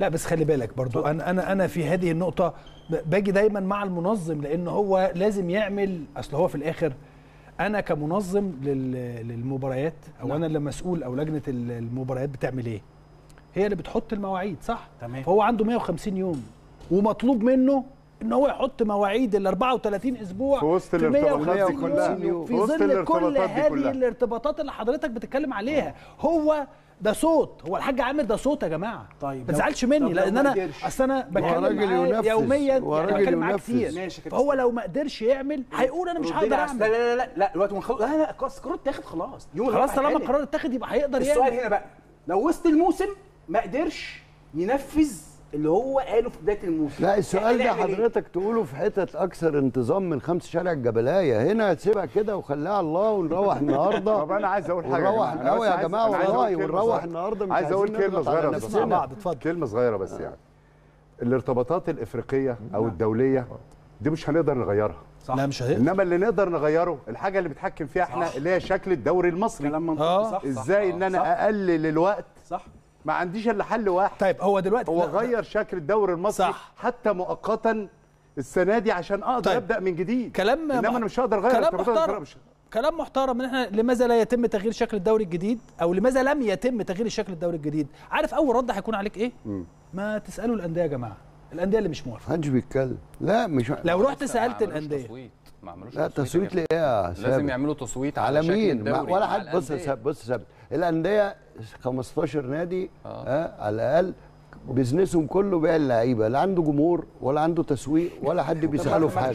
ثواني بس ثواني بس ثواني بس يعني لا يا جماعة يعني أنت- يا جماعة طب أقول لكم بس. نسمع يا جماعة بعض- أقول لكم نسمع بعض. يا ثابت. ده أنا املنا فيكم أنتوا انكم تجلبوا نظام ينفذ لأنه حتى في خطورة في موضوع إن إحنا نعمل اللي الكابتن قاله ونقول يلا بينا نعمل التجربة البلجيكية. ليه؟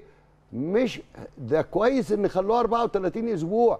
تبقى الجثة تحت الأجهزة لغاية لما يجي الراجل الجراح العالمي ينقذ هذا الكيان الاقتصادي والصناعة العظيمة. دي أنا مش مش حالم. المفروض أنتوا اللي تبقوا حالمين. وبالتالي لابد إن أنت تاخد بالك إن الباقيين دول مش هيتحركوا لأنه مش عاوز هو لا يعدل ولا يبقى. هو عايز جمهور؟ إحنا هنهرج. لما يلعب طيب. الأهلي والزمالك ب طيب. 40000 مين دول سكواد مين يا عم وبتاع مين؟ كله هيعمل كده. وبالتالي هناك شبكة مصالح على فكرة إدارات ناجحة جدا ده بجد بقى.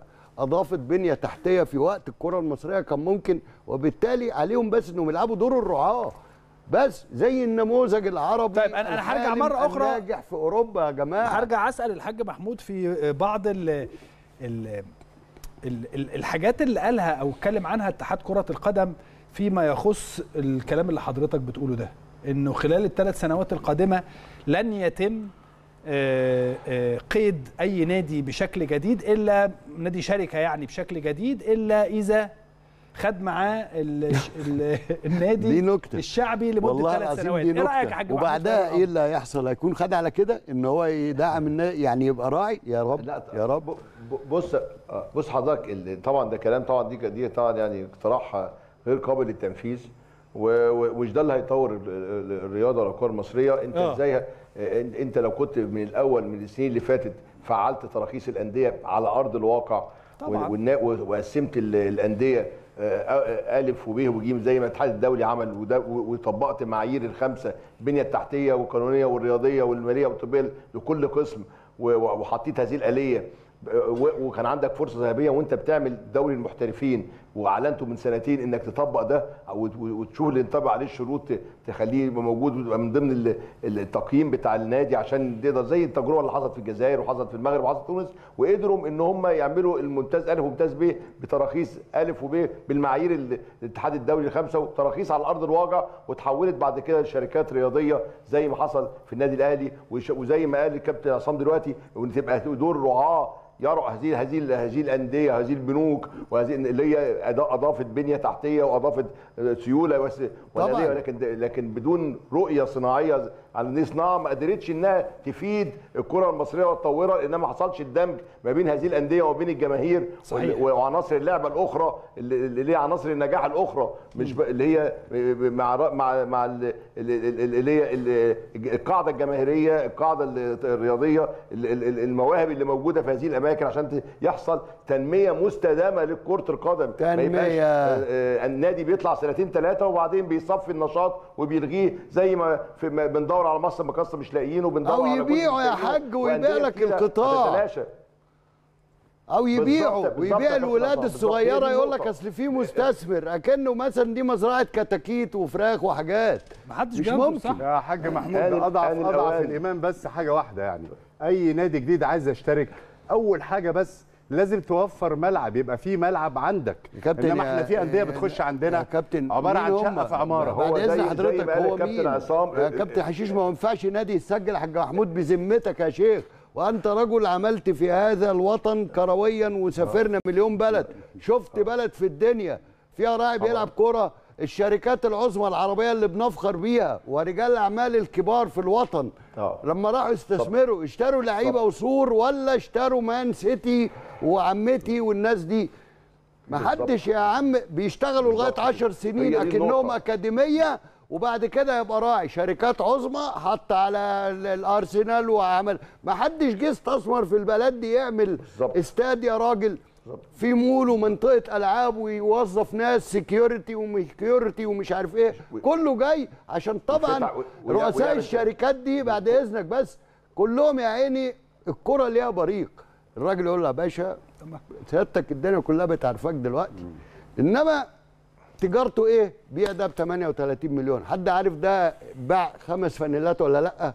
حد عارف التذاكر زادت ولا لأ؟ ده اللي كان بيتكلم عليه الحاج محمود في البداية. ما أنا هو- عارف ده أنا هو باخده إيه بقى؟ معايا. ما هو هو, التراخيص عاش معانا ده عاش طيب، معانا ده. مهم جدا. وإحنا و- و- وأنت عشان تلاحظ حضرتك هذا الموضوع إن هو أصبح ال- ال- ال- الخلط اللي أصبح ما بين الراعي وصاحب وصاحب النادي إن معظم الفانيلات ما عليهاش حاجة ما عليهاش حقوق لأنه لأنه حصل هذا الخلط طيب. وحصل تضارب المصالح وما حصلش فيه تنمية مستدامة إحنا بنتكلم دلوقتي ونستفيد بوجودنا هذه الصناعه معلش يا حاج محمود مهم جدا إن حصل أنا لأن. معايا تليفون آه، مهم برضو من الحاج عامر حسين نفهم برضو الوضع خلال الفترة. اللي جاية وأنا كنت بقول هذا الأمر دلوقتي كنت بقول إن إحنا عندنا 150 يوم هو دلوقتي آه، الحاج عامر حسين ده صوت من الأصوات.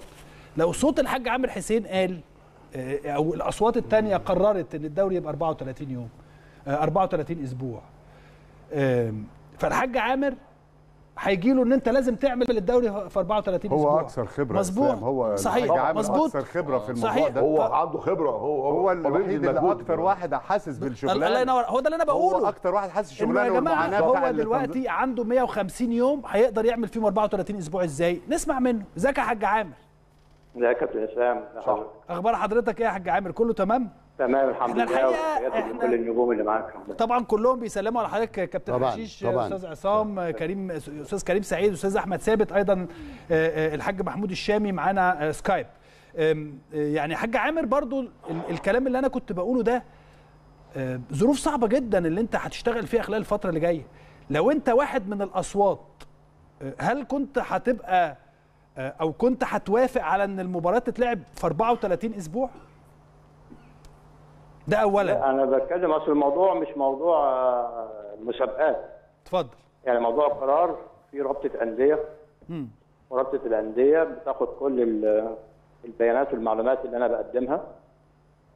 والموضوع ده حصل من سنتين. مم. عندنا نفس الموضوع. والأندية آه، بالكامل رفضت تغيير النظام وشكل المسابقة للحقوق التسويقية والرعاية. دي قصة ثانية يعود عليها بأضرار. وبالتالي نفس الموضوع الرابطة قررت إن أنا حضرتك عارف إن أنا ما بقتش عضو في الرابطة دلوقتي. وان الاتحاد وال- والدوري العام تابع للرابطة. وبالتالي الرابطة أكيد رجعت للأندية واخدوا القرار ويمكن برضه عرفت من من ساعتين كده إن نادي الاتحاد طلع بيان إن هو متمسك بالدوري بنظامه العادي. فأكيد الرابطة أخذت رأي الأندية. والأندية اللي طلبت ان هي تعمل نفس النظام بالشكل المعتاد مم. إنما اللي أنا بلغت بيه إن النظام هيبقى بنفس ال- ده اللي أنا كنت بقوله بقى. هو ده اللي أنا كنت بقوله يا حاج عامر إن حضرتك حتى لو أنت ليك صوت بتختار يعني. فأنت صوت في وسط عشرة مثلا. لا أنا بقدم بيانات. أنا ما يعني يمكن أنا الناس متفهمة و... وداعمة لإدارة المسابقات كرابطة. إنما في الآخر القرار النهائي لأن فيها أمور مالية. وأمور تسويقية فيها. أمور كتير فبالتالي آه، هم أدرى آه، بالموضوع دوت ولو رجعت حضرتك بقى ناخد الموقف الشبيه للدوري عندنا. آه، هل الاتحاد الأفريقي مش عارف كل المشاكل والبطولات بتاعته يعني الاتحاد الأفريقي عامل أمم أفريقيا الموسم ده وعمل الدوري السوبر الافريقي في 21 يوم. صحيح. وعمل مباراة ال- الأهلي واتحاد العاصمة اللي اتغير ميعادها ثلاث مرات. ولما اتحط ميعادها يوم 15 كان الأهلي عنده مباراة يوم 16 في دور 32 صح. فراح على. الدور ال 32 صح. ليوم 22 مم. أنا بتكلم على جزء بسيط برضو. هل الاتحاد الأفريقي مش عارف ان عنده المشاكل دي وعارف إن في كأس عالم للأندية في شهر 12 و45 يوم أمم أفريقيا ولما اعمل أعمل بطولة جديدة زي السوبر دوري السوبر عمله في نفس الموسم اللي فيه بطولة الأمم الأفريقية. طب إيه اللي يجبر الاتحاد الأفريقي يعمل كده؟ الا لو في أمور تسويقية ورعاية وأمور ثانية لا وتمنع الأندية من الأندية اللي بتلعب في السوبر الأفريقي إن هي تلعب في الدوري بتاعها. خلي بالك دي مهمة جدا. لا هو الكلام دوت الجملة اللي اتقالت دي يا كابتن اسلام آه. جملة مش مظبوطة خالص. يعني إيه؟ يعني ال- النادي الأهلي يعني يعني حتة إن الاتحاد الافريقي بيقول ما حدش يلعب أثناء البطولة في الدوري المحلي بتاعه. مم. دي كلمة أصلا مش مظبوطة ليه؟ لأن هو هيبقى يوم 20 تمام. من 20 ل 11 11 نتكلم في 21 يوم. صح. 21 يوم اللي هيكمل النهائي هيلعب ست مباريات. آه، فيهم ثلاث سفريات. آه. يبقى هيلعب كل ثلاث أيام ونص. فكده كده مفيش فطبيعي كده كده مش هيلعب ما حدش يقدر يلعبه. آه okay okay تمام فهمتك ف- فهي كلمة اتقالت كده ومشت بس على أرض الواقع ما حدش هيقدر يلعب محلي طول ما هو مكمل في الم- في المسابقة لغاية الآخر. آه لو وصلت للآخر أنت كده كده مش هتقدر هتلعب كل يعني ثلاث أيام ونص. آه يعني؟ ده اللي بيلعب هنا كل ثلاث أيام بيتعب. طب اللي اللي بيلعب في أفريقيا بقى حقيقة؟ يعني الأهلي يلعب في تنزانيا هيسافر يروح تنزانيا. صحيح. يرجع يلعب في مصر. ربنا وفقه.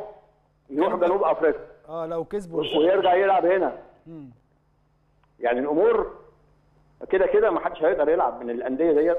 طب يا حاج عامر أنا برضو عايز أسألك السؤال المباشر. إحنا حسبناها لقيناها 154 يوم في 34 أسبوع. إزاي الدوري؟ إحنا عرفنا دلوقتي يعني أنا بصيت على التليفون لقيت حد كاتب إن إحنا هنخلص يوم 30 7 هل ده هينفع إن أنا أخلص 34 أسبوع في 150 يوم قبل 30 7 التوقفات دي. بال... بال... بالمسابقات اللي حضرتك اتكلمت فيها وكلها وعارفها أكتر مني. طبعا كل الارتباطات معروفة يعني عنده ال- من أول المباراتين بتوع أثيوبيا. وع- وعنده السوبر الأفريقي وعنده كأس العالم للأندية. المنتخب عنده ارتباطات برضه. المنتخب عنده 45 يوم بتوع أمم أفريقيا. وعنده أجندة في شهر 10 وعنده أجندة في نوفمبر وعنده أجندة في مارس وعنده أجندة في شهر يونيو. تمام. الارتباطات كلها آه، معروفة. إنما الاتحاد الأفريقي برضه زي ما هو عمل مباراه يوم 15 فاجل بتاعه 16 ل 22 برضه هيبقى عنده ارتباطين في دوري المجموعات في حالة وصول آه، النادي الأهلي إن شاء الله في دوري المجموعات. إن شاء الله. هيضطر يأجلهم.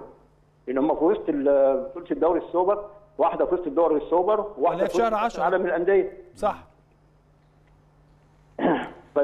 فده اللي بيعمل لي مشاكل وأنا بحط الجدول. والناس الحقيقة ما مش عارفة أبعاد الكلام دوت. إن تاريخ واحد مش موجود عندك ما تقدرش تعمل الجدول زي ما الناس عايزة. يعني في هيغ- الكاف مش عشان دايما بيشبهونا بال بالأوروبا. بطوله الأمم الأوروبية عمرها ما اتعملت في وسط الموسم. تمام يا حاج عام بس الوضع الحالي بيقول انت حضرتك أمم أفريقيا دايما بتتعمل في وسط الموسم تاخد منك 45 يوم. أيوه بالظبط. تمام. حاج عامر معاك وبعدين هنا النادي اللي بيروح جنوب أفريقيا أو بيروح يلعب مع مازيمبي يقول لك عايز أربع خمس أيام قبلها. صح. في أوروبا بيروح ساعتين يروح يلعب ويرجع. وده حقه حق أي نادي يعني. الأمور مختلفة. مع الأمور مختلفة تماما ما تنفعش تقارن. مساء الخير يا حاج عامر معاك كريم سعيد. أنا بس عندي تعقيب. بس على موضوع الكاف النهارده بس عشان يبقى الكلام واقعي. الاتحاد الأفريقي حاليا الأجندة بتاعته مش هتتغير. خلاص في وضع قا الاتحاد الأفريقي مش هيغير أي حاجة في الأجندة بتاعته إزاي؟ ما هو في تعارض. لا لا، في تعارض. هيأجل هيأجل يأجل. هيأجل طيب ما هو هيأجل في تعارض يا هيأجل أستاذ كريم ما هو يا لا، حبيبي أيوه يا حبيبي طب هقول معلش يا حاج. عامر أنا هرد معلش أنا. أنا هقول لك حاجة بس اتفضل. التأجيل ده معناه إيه تغيير ميعاد صح أيوه أيوه بس طيب. هو بص شكل. الكاف هيبص الاجنده بتاعته مش هيغير فيما يتناسب مع الأجندة المصرية مصرية، ملوش. دعوة هو بالظبط. هيشوف الأهلي هيقول له لو سمحت أنا عندي الجولة الثانية في دوري أبطال أفريقيا متعارضة مع كأس العالم هيقول له أنا آسف الماتش ده اتأجل مثلاً هتتلعب- 14 هتلعبه بعد كده. 17. لكن مش هيبص خالص على الأجندة المصرية. فسؤالي هنا ببساطة إيه الخطة ب اللي عندنا عشان نقدر نتفادى ه- هذا الموسم الصعب؟ ان حضرتك أنا سمعت تصريح حضرتك من شوية قلت إن في الرابطة مع الاتحاد هنشوف موضوع أزمة مواعيد الأهلي. إيه الخطة ب اللي عند قال حضرتك يعني إيه نشوف موضوع أزمة النادي الأهلي؟ يعني الأهلي النهارده عنده آه، ماتشات زيادة. أنا ما قلتش الكلام ده خالص. في مداخلة كانت من شوية أنا بقول طيب. معاه. يا أستاذ كريم ما تقوليش حاجة ما قلتهاش أنا طيب، بتكلم. معاك في التليفون هو معانا نفسه تمام تمام تمام النهارده إحنا النادي أنا كل تمام مداخلة يعني حد غيري دخل تمام تمام باسمي تمام تمام تمام النادي الأهلي دلوقتي أنا قلت. الكلام أنا كلامي واضح عشان ما نقعدش نتناقش جميل جميل تمام. كلام خلينا نسمع طيب بس. وقت الناس ونضيع تمام. وقتكم اتفضل أنا بتكلم في نقط محددة اتفضل. في مباراة ثانية لسه لسه الاتحاد الأفريقي لسه هيأجلها في حاله وصول النادي الأهلي لدوري المجموعات عشان متعارضة مع دوري السوبر الأفريقي ومتعارضة مع كأس العالم للأندية. زي الميعاد اللي غيره بتاعت الأهلي واتحاد العاصمة. مباراة الأهلي واتحاد العاصمة كانت يوم 13 8 صح. وبعدين بقت 1 9 صح. بعدين بقت 15 9 مظبوط. والاتحاد الأفريقي قال إن اللي هيلعب في دوري السوبر الأفريقي من الثمان أندية مش هيدخل دور ال 32 في بطولة أفريقيا. وهيخش في دوري المجموعات على طول. آه رجع في تمام. كلامه. ده رئيس الاتحاد الافريقي نفسه اللي قال كده رجع في كلامه. طيب يا أستاذ كريم عايز إيه؟ طيب. عايز إيه؟ لا ده كابتن اسلام اللي بيكلمك أنا اللي بتكلم. أنا بقول لك هو رجع في. كلامه يا حاج عامر. آه. إحنا ب... إحنا بنشتغل طول عمرنا تابع لقرارات الاتحاد الأفريقي. مش هم اللي هيشتغلوا علينا. صحيح صحيح صح. وهو مش هيغير حاجة. هو اتحاد هو مش الكره هيغير. هو مش هيغير. بدليل بدليل بدليل مش هيغير ليه؟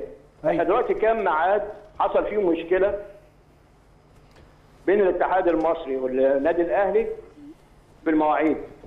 يعني في أجندة في شهر 10 اللي جاي. كويس؟ الأهلي يلعب يوم 20 آخر الأجندة يوم 17 من 9 ل 17 يعني نفس المشكلة اللي إحنا فيها حاليا. آه آه آه آه.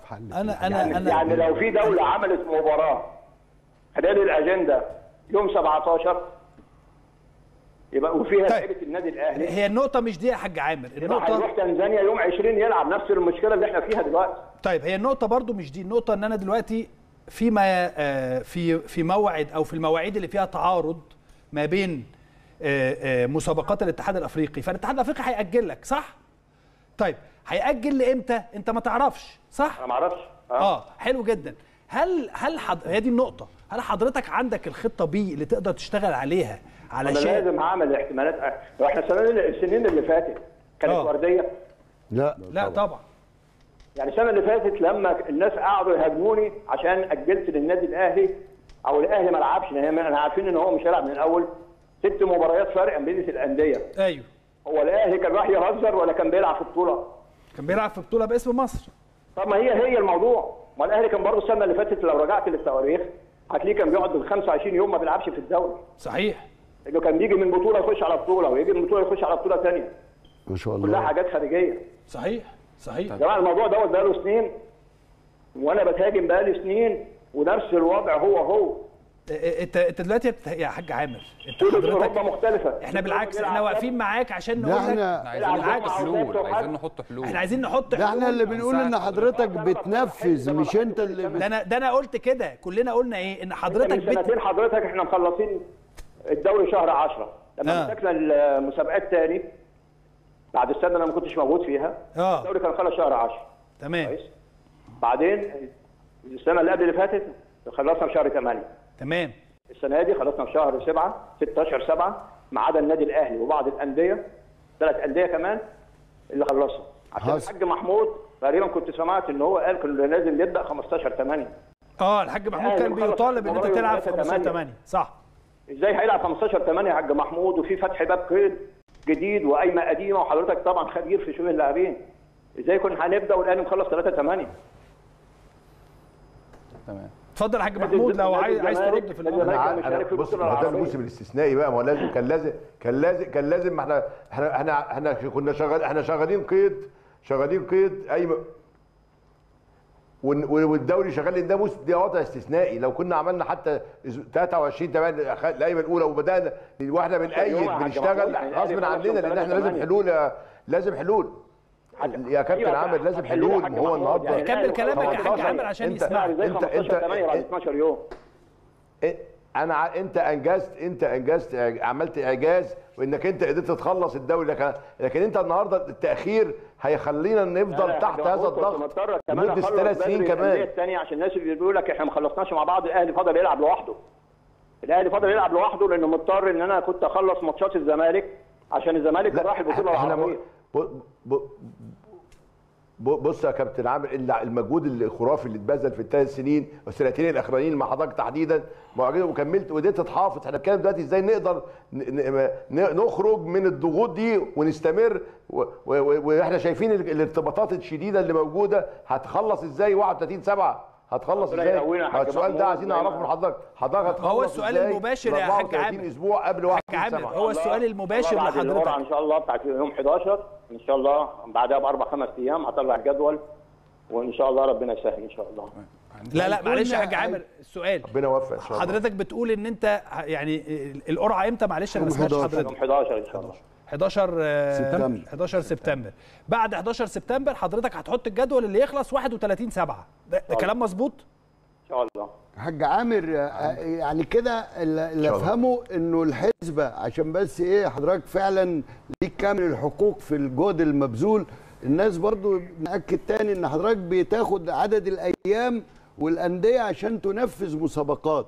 وده طبعا مش أنت اللي بتقترح شكل دوري والكلام ده. أنت آه بيقترح هنا بقى عليك. هنا بقى هل فكرة 34 أسبوع معناها إن الأسبوع يبقى 3 أيام أو يومين هو ده اللي هيخلي ال 150 يوم يكفوا عشان نوصل لجمهورنا؟ والدوري هيبدأ إمتى يا حاج عامر يا برضه؟ عصام بيه بعد إذن حضرتك. آه. السنة اللي فاتت ادي مثال بس عشان أنا دايما بطلع على كل عشان الواحد يتعلم عشان الناس بتقول جيبوا خبراء من بره. يعني اول أول حاجة لو لا لا الخبراء مش للمسابقات لا يا حاج ده إحنا بندي حضرتك حقك. إحنا بنقول الخبراء جبت نظام من أول وجديد للكورة. الارتباطات ديت. اديته الارتباطات ديت. لو أي خبير جه من بره شاف الأجندة اللي موجودة وأبعتها لحضراتكم إن شاء الله في يوم كده. لو لقيت حتة فاضية مش هيلاقي حتة فاضية يحط فيها ماتشات. هيرجع, هيرجع بلده يا حاج عامر. هيرجع بلده على طول. بقول لك كده إيه قلنا إن العام دور واحد الكابتن حشيش شغال في المنطقة وعارف. آه. إن المشاكل هل لقيت حد بره. في العالم كله إيه؟ أربع أندية وخمس أندية بيلعبوا في ملعب واحد لا حاج عامر. بص أنا عندي. سؤال بالنسبة دلوقتي تبعد الأندية بس عشان عن بعض. بتاخد قد إيه مجهود إحنا العملية صعبة جدا يا حاج عامر العملية صعبة جدا جدا بس الناس مش مقدرة ومش عارفة التفاصيل الثانية طيب. هي فاكرة جدول بيتحط وخلاص. دلوقتي بالنسبة للدوري الأفريقي لكرة القدم هيبقى في النادي الأهلي هيلعب من 20 أكتوبر ل 11 نوفمبر. إن شاء الله. افرض إن شاء الله. افرض نادي جه لحضرتك وقال لحضرتك أنا مش عايز ألعب وعايز يتأجل لي ماتشاتي عشان النادي الأهلي ما بيلعبش هيكون إيه رد حضرتك؟ ده السؤال يعني ده؟ الأول. يعني إيه مش فاهم؟ ما يقدرش. يعني هو مش عايز يلعب ماتشاته يعني إيه لغايه ما النادي الأهلي برضه سؤال غريب جدا مش عايز يلعب. أيوه بمزاجه. في أندية بتيجي تقول إن مش هي بمزاجه. حصل لا قبل مش. بمزاج حد حصل قبل لا لا بس هو ده جدول محطوط السؤال اللي حصل قبل كده يعني. حصلت قبل كده. منطقي. لا لا يحصل يقول لك في الآخر أنا مش هلعب إلا لما إيه لما النادي الأهلي يلعب ماتشاته. هل ده ده وارد عشان يعني؟ كده ده عشان كده لما نعلن ما آه. بنعلنش ال 34 أسبوع عشان لو حد عنده مؤجلات. آه. آه. قبل آخر أربع. جولات في الآخر. تمام. ده حقه بس اللي موجود إنما غير كده لا. تمام. السؤال الثاني وهو كمان لو النادي طلب كده لا هقول لحضرتك نقطة مهمة اتفضل. عشان برضو الناس تفهم كويس عشان في أندية بتضحك على بعض جمهورها. الكلام ده لو حصل ده بيبقى ضرر للي بيأجل. إن أكتر. مثلا صح. لو النادي الأهلي صح. يلعب صح. يرجع يلعب صح. يلعب على يومين والتالت على طول. صح. لأن- الأندية اللي ما بتأجلش بيلعب كل أسبوع. بيلعب كل مباراة، أسبوع ماتش. بيبقى مرتاح. صح. لا بس في في أندية ممكن تستفاد أنا اختلف لا يبقى ده عايز. مشاكل وخلاص بقى يعني اللي هقول بيطلب كده. هو هقول بيعاند وخلاص هو هو بيعاند وخلاص. لا في أندية هو يلعب. بتاعها حاليا واقف فل- فلما تأجل لها الماتشات هتفتح القيد في شهر يناير ليه عشان تجيب صفقات لا ما هو مش هيبص بقى ده. حاله استثنائيه. السؤال الثاني يا. أحمد السؤال الثاني بالنسبة دلوقتي للماتشات اللي هي الذهاب والإياب بتاع الدوري أبطال أفريقيا ين- يناير أصلا السنة دي يناير في بطولة أمم أفريقيا ما حدش هيلعب أصلا. محدش هيلعب أصلا تمام. صحيح. بالنسبة لماتشات الذهاب والإياب في دوري أبطال أفريقيا الأندية اللي زي النادي الأهلي وبيراميدز الأندية بتلعب في بطولات أفريقيا هل في مواعيد معينة للدوري قبلها؟ يعني ماتشات الدوري إن مثلا فاصل أربع الشروط السنة اللي أيام فاتت نفس الشروط السنة اللي فاتت. اللي هي اللي كانت أربعة جوه وثلاثة. بيلعب على ثالث يوم. آه. بيلعب بره بيلعب على رابع يوم. ونص النهائي والنهائي أسبوع بالكامل. آه. لو حد بيلعب في ملعبه هنا مثلا بيلعب الجمعة بيلعب سبت وحد ويلعب الاثنين. أي ما هي هتبقى الضغطة هتبقى نفس الضغطة. بيلعب بره هيلعب هيعمل إيه؟ ما هيعمل إيه؟ هو هنا ملوش حل. يعني هو الراجل هيجيب أيام منين يعني؟ ما ينفعش الأسبوع غير السبت والحد والاثنين هو هو ده اللي إحنا بنقوله. العملية صعبة يعني جدا جدا بصراحة حاج. عامر يعني أنا أنا واحد من الناس يعني أنا أنا بتكلم مع الحاج عامر كتير خلي بالك. فأنا بقول لك أنا واحد من الناس بقعد أكلمه أقول له طب أنت هت هتعمل إيه في ال- في الماتش اللي جاي؟ الفترة يعني الدوري اللي جاي طيب. هتعمل فيه إيه؟ هو الحاج بيقول لي يعني أديني فارد الدنيا أيوه قدامي طبعا وبقعد طبعا. أشوف وأعمل وبتاع جدا. والعم. كم فأنا من بقول المسابقات والبطولات وبعدين بقول لحضرتك يا كابتن إسلام لو تراجعت السنة اللي فاتت هتلاقي إنجلترا كانوا على طول بيلعبوا يومين والثالث يومين والثالث عشان كأس العالم كان في وسط الموسم وعايزين صحيح. يعوضوا الأيام ديت. صحيح. ورغم كده خلصوا متأخر لأول مرة شهر عن طيب. الميعاد التقليدي بتاعه أخيرا يا حاج عامر آه، آه، هنبدأ الدوري إمتى؟ إن شاء الله يوم 18 إن شاء الله. 18 9 آه إن شاء الله. وإن شاء الله الدوري هينتهي واحد إحنا كنا انا كنا محددين من السنة اللي فاتت يوم 15 وبعدين ال- آه، في جولة اللي هي 15 16 17 في أفريقيا. آه. للأربع أندية بتوعنا. أيوه. هنبدأ 18 إن شاء الله. هنبدأ الدوري 18 إن شاء الله. أنا بشكرك جدا يا حاج عامر على كنت هذه بس أرد على الحاج محمود. اتفضل. على ان الحاج محمود قال من خمس سنين موضوع الرخص دوت. لأن الحاج محمود طبعا كان متخصص في موضوع التراخيص بتاعت الأندية. أيوه. بس إحنا من خمس أند- سنين ما كانش الاتحاد ده موجود عشان ندي كل واحد حقه بس. حصل. صح. وأنا بشكركم جدا وانكم أنتوا سمعتوا لي المدة دي كلها. إحنا لا بالعكس ده إحنا. بنشكرك و- وخلي بالك يا حاج عامر إحنا في ظهرك في أي حاجة. بالتوفيق يا كابتن. ربنا يخليك يا كابتن ربنا آه يخليك. والله ربنا. يخليك يا حاج عامر. ودايما اخونا أخونا العزيز. الحقيقة أنا بشكرك. جدا يا حاج عامر على وجودك معانا. شكرا جزيلا. الحاج عامر حسين. آه، يعني ما عايز أفهم. انت هتعمل إيه هو بس هو الحاج ما بيقولش بس كابتن الإسلام من آه. كتر ما بيخش مداخلات آه، نلخص لخص التيم. عشان بس بيبقى حاسس إن. دايما هيبقى فيه هجوم بالعكس إحنا لا بالعكس، هو مضغوط لا هو مضغوط هو راجل مضغوط الله راجل يكون في لو عونه هم طبعا. راجل مضغوط عونه. 16 نادي أو 18 نادي وال 150 يوم لكن هو قصده يوصل لنا اللي أنا بس هو. وصل لنا رسالة. إنه بي... إيه هو وصل طيب لنا رسالة قبل ما طبعاً. تكمل آه عشان المشاهدين بس يبقوا عارفين. ونوثق المعلومة الحاج عامر حسين ليس له أي علاقة بضغط الموسم القادم. هو ماله؟ خلاص خلص. هو كده كده على هو أثبت. لا لا لا, لا ما- معلش ثانية هو كان. مقترح يا كابتن سامي هو قال لك أنا درست الكلام كان واضح. هو قال إيه؟ أنا درست وقدمت المقترحات بما يتماشى مع الكلام كان بيقوله. وعدد وفكرته هو قال يا. جماعة الفكرة. الأفضل. ما هو ده دور ما- دوري من دور واحد وبطولة نخبه من صحيح يا كريم ولكن أنا قلت في البداية إيه؟ أيوة. إن أنت دلوقتي دورك التنفيذ. أيوه. أكمل بقى الحتة الثانية. وهسكت. النهارده ليه؟ ضغط الموسم القادم يسأل حاضر. عنها رابطة طيب. الأندية أيوة. بسبب عقود الرعاية انت طيب أنا هكمل بس كلامي في هذه النقطة ولكن آخد كلمات أخيرة من الحاج محمود الشامي قبل ما يسيبنا أنا بشكر يعني حاج عام حاج محمود منورنا في الحلقة دي والحقيقة أنا استفدت أنا شخصيا وكل الناس سمعتك إحنا محتاجينه. في الاستوديو على فكرة إحنا محتاجينه طبعا في الاستوديو، بس هو- محتاجين نكمل ملفات ال... هو الحقيقة الحاج الحاج محمود بالعكس، اللي سعيد جدا يا. حاج محمود عشان أنت هتبقى شاهد عدل حقيقي يعني فلو تلخص لنا بقى وجهة نظرك سريعا محمود. وساندين ونتمنى إن إن المرحلة الجاية إن شاء الله الملفات كلها اللي اتكلمنا فيها فتحها كابتن حشيش وكابتن عصام وخطوط عريضة يبقى لنا مواضيع مستمرة نطبقها على أرض الواقع ونحط جدول زمني لحل هذه المشاكل كلها وكتراخيص وكتسويق وك وك وكشكل كل عام. للدوري وربنا يوفق إن شاء الله بإذن الله الموسم الجاي إن شاء الله. أنا بشكرك. شكرا جزيلا. يا فندم على وجودك معانا الحاج محمود الشامي يعني أخونا الكبير الحقيقة وصديقنا الله العزيز. ويعني أخيرا يا حاج حاج محمود بسرعة جدا قبل ما أسيبك البلدية أخبارها إيه السنة دي؟ ومصطفى طبعا. والله تجربة كلها شباب جهاز آه. فني جهاز فني كله شباب و- ومجلس إدارة شباب والحقيقة أنا كنت معاهم النهارده ماتش مع المقاولين الحقيقة بداية مبشرة وإن شاء الله نعمل تجربة حلوة إن شاء الله تستفيد تبقى كويسة زي, زي بدايات دعمكم إن شاء الله إن شاء الله ربنا يكرمك يا حاج محمود شكرا جزيلا على وجودك معانا وعلى كل هذه.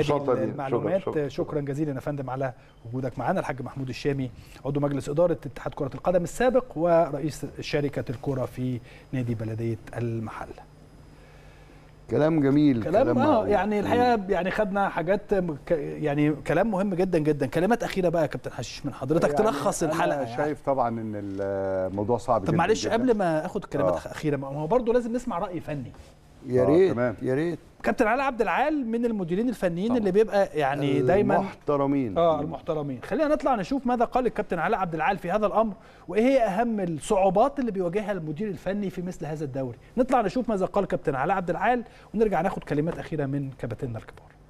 ال- الفرق الدوري الممتاز أو المديرين الفنيين في حيرة آه، بخصوص بداية الدوري. يعني على الأقل نبقى عارفين بداية الدوري إمتى. ان أنا كراجل مدير فني بحط آه، اجندة مباراة ودية. آه، مش عارف يعني لغاية أنا عامل لغاية يوم 13 آه، مباراة ودية.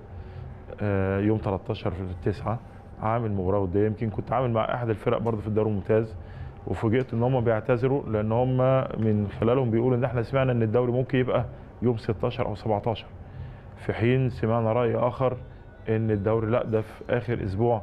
في في شهر 9 ف- ففي عطلة كبيرة جدا بالنسبة لنا كمديرين فنيين في في استعداد الفريق أو الفرق بتاعتنا. فأتمنى طبعا المسؤولين طبعا عن اتحاد الكورة أو رابطة الأندية أو لجنة المسابقات طبعا برئاسة الحاج عامر حسين. على الأقل يقول لنا الدوري هيبدأ يوم كذا. وفي نفس الوقت برضو آه، آه، ما كانش في ما يمنع إن تتعمل القرعة آه، بتاعة ال- ال- الدوري. على أساس إن أنا أعرف أول فريق هقابله إيه تاني فريق. لأن أنا ممكن تصادف إن أنا هلاعب فريق مباراة ودية وهو نفس الفريق اللي هلاعبه أول مباراة في الدوري. ففي الحالة دي أكيد هتتلغي. يعني هو هيخسر وأنا هخسر. فيعني أنا شايف إن آه، متأخرين جدا. آه، كنا نتمنى آه، تتحط آه، يتحط الأول ميعاد بداية الدوري. آه، كلنا عارفين إن هو في شهر تسعة. بس آه، يقال في نص تسعة يقال في الأسبوع الثالث من شهر تسعة يقال في الأسبوع الأخير من شهر تسعة. يعني شايف إن الموضوع مش مش صعب إن هو يتحدد ميعاده وخاصة إن إحنا كلنا عارفين إن الأجندة الأفريقية آه، آه، تم وضعها بالنسبة لل- للأندية اللي هتشارك في البطولات الأفريقية. أجندة المنتخب برضو موجودة. لازم يبقى عندنا دوري منتظم. يعني إحنا برضو بنقول كل موسم الدوري الموسم القادم هيبقى منتظم بن- بنفاجئ إن في عوائق بتجعل الدوري المصري غير منتظم. هو الدوري المصري قوي يعني لازم نقول طبعا الدوري المصري بتاعنا قوي إنما في أندية تقدمت علينا. يعني إحنا هو لم يتراجع إنما في أندية في دول ودوريات تقدمت علينا. اشتغلوا صح زي الدوري السعودي زي الدوري الإماراتي كدول عربية. دول تقدموا علينا بشكل كبير جدا قدروا إن هم يستثمروا الدوري بتاعهم بشكل كويس قدروا طبعا إمكانياتهم طبعا المادية بتساعدهم آه، بشكل كبير قدروا يستقطبوا آه، نجوم العالم. بدأ الكل دلوقتي يلتفت للدوري السعودي خاصة.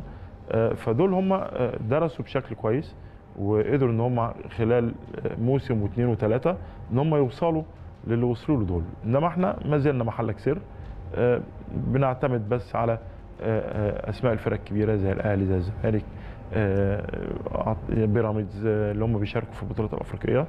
آه، فلازم اتحاد الكره عندنا أو رابطة الأندية تفكر إزاي الدوري المصري يبقى قوي إن إزاي يدعموا الأندية اللي هي آه، إمكانياتها قليلة آه، عشان خاطر يبقوا في مستوى آه، يقارب مستويات الأهلي والزمالك وبيراميدز والأندية اللي هي أصحاب الإمكانيات. آه، كل بيعاني بيقول لك مفيش إمكانيات مادية ودلوقتي إحنا عارفين الإمكانيات المادية هي ال- الصرف وهي اللي بتستقطب اللعيبة سواء المصريين على مستوى عالي أو سواء الأجانب. فلازم يبقى في آه، مناقشة آه، ما بين خبراء ال- ال- الكرة في- مصر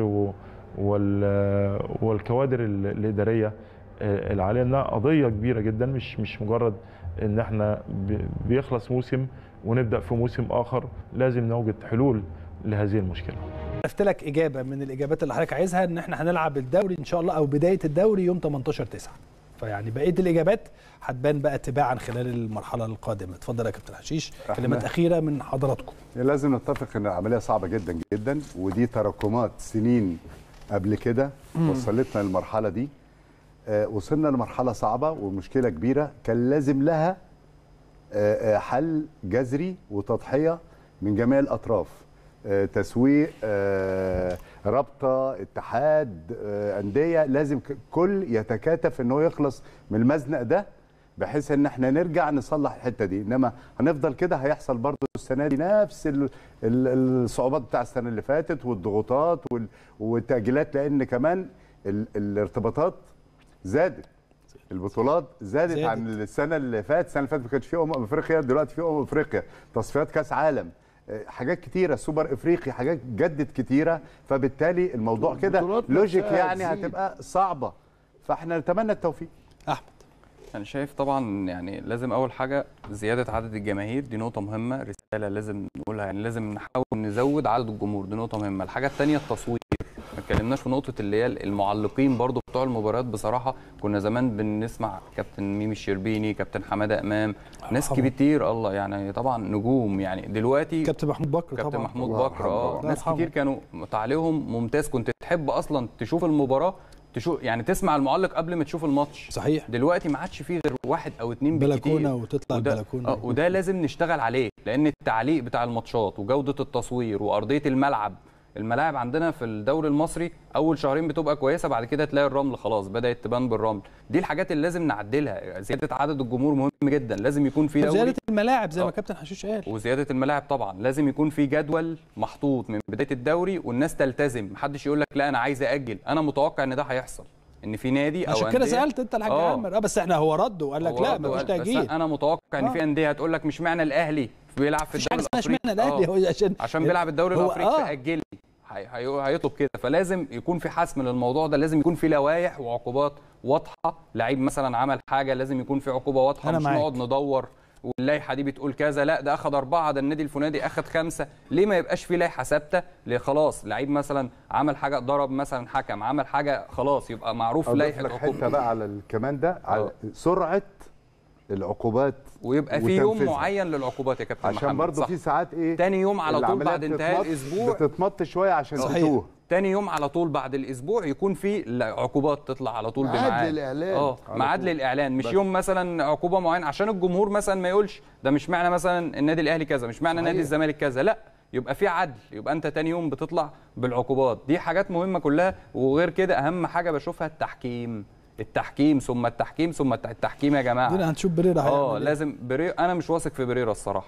أنا أنا بثق في كلاتنبرج تحديدا. أنا شايف إن بريرا أنا لا اثق فيه حتى الآن. أنا أنا شخصيا بدعمه وأتمنى إن التجربة تكمل على خير. اتفضل يا أستاذ آه. ما هي هو الكلام هو برضو باني على اللي شافه ثابت. لكن إحنا تمام، آه، محتاجين بقى إن. الراجل ده يستكمل. آه، صح ما عشان كنا بنتكلم في القصة الحكام تتعاون معاه الأسبوع اللي جاي اللي فات. مش بس نتعاون لا. ونقف مالناش دعوة إحنا وراه بالفعل. بالظبط كده. لكن واصل أنا لسه ما شفتش منه حاجة. إحنا شفنا أيوة. منه الأربع شهور اللي فاتوا ما شفناش منه حاجة برضه. خلي بالك. بالظبط، كان صريح. وقال كنت أراقب كنت أرى فوري. اتفضل. لسه ورينا أيوه. بقى. الله عليك إيه. كابتن إسلام. اتفضل. اتفضل. إحنا في ظهرك أهو. اللي هي إيه ما تيجوا نشوف. بالظبط. وبالتالي فعلا النادي الأهلي يا جماعة أكتر حد هيساعد كل دول. تخيل بقى. ليه. هيلتزم مع الحاج عامر كمسابقات يعني كما التزم الاهلي ما قالش بم ولا حد فينا اتكلم كل 18 ضغطة ساعة ضغطة، حاضر. كل- ما دام إيه. قايل لي. ومديني وما زي ما ثابت قال وكريم أكد بت- باعتبارهم بقى المتابعين ما شاء الله اليومين أيوة. انه النموذج المراد إن يبقى فيه وضوح وبالتالي ده اللي هيعمل الحالة دي الجزء الأهم إنه فعلا اللي اللي يضايقك لأن مفيش حاجة في البلد دي إن شاء الله هتزعلنا إنه الحل ما أسهله. قلنا إنه الحل ما أسهله بس تيجي إدارة بس مش بتاعة المانجمنت اللي قالوا لنا عليها والاحتواء والاحتماء والكلام ده. إدارة حقيقية. إدارة ناس معاها تراخيص. مش يقول لي هدي تراخيص الأندية مع احترامي لما أتكلموا عن تراخيص الأندية. وهي الأندية أصلا الرخص دي كلها مضروبة يخش في الحيطة.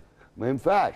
إحنا عايزين رخص كما العالم رخص كما الدوريات اللي الشباب جابوها بالأرقام وقالوا سبقتنا ودي حاجة تفرحنا بيهم إنما وأنت بتتابع هناك مفيش هزار فرحنا بالدوريات لكن زعلنا تلاعب. على نفسنا. بالظبط لكن تزعلك إيه اللي يخليك مش قلقان يا كباتن إنه فعلا لو على جودة الملاعب فورا إذا أحسن إدارة من يعمل عشان يجلب هذا النجيل خلصانة بشياكه ملفات الملاعب وتخصص. في المحافظات هناك ملاعب جامعات ومحافظات نفسها تملك ملاعب مغلقة ملاعب كتيرة جدا في كل المحافظات لكن تحتاج للبهوات اللي بيقولوا لنا بنستثمر في لعيبة عشان يلعبوا في الدوري ويقعدوا يسقفوا للباشا. لا روح استثمر في الملعب وأجره واستفيد ويبقى ملعب فلان.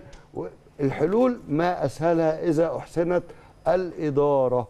فعلا الجزء بقى المتبقي إنه في البيت الكبير النادي الأهلي لأنه ده حق كل الأندية على النادي الأهلي. لابد من الطرح يا كابتن ملف ملف ونسميها زي ما حضرتك قلت قضية البيت الكبير للأندية. كل ودي عنصر أجمل من دول اسلام مش عايز حلقه الاهلي كل عنصر. قلناه عايز حلقه. إحنا ما كناش. في تفاصيل وكمان يا كابتن حشيش. ما هياش للنادي للبيت الكبير بيت الكورة مش بس للنادي الأهلي. صحيح.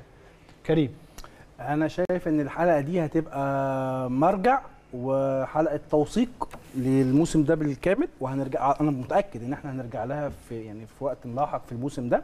بس عايز أنهي بقى آخر حاجة في الحلقة. برضو بتوثيق آه، خبر مهم قاله الأستاذ أحمد دياب على بطولة السوبر. وبرضه هو حل لنا الموضوع الإشكالية بتاعت بطولة السوبر القديمة والجديدة.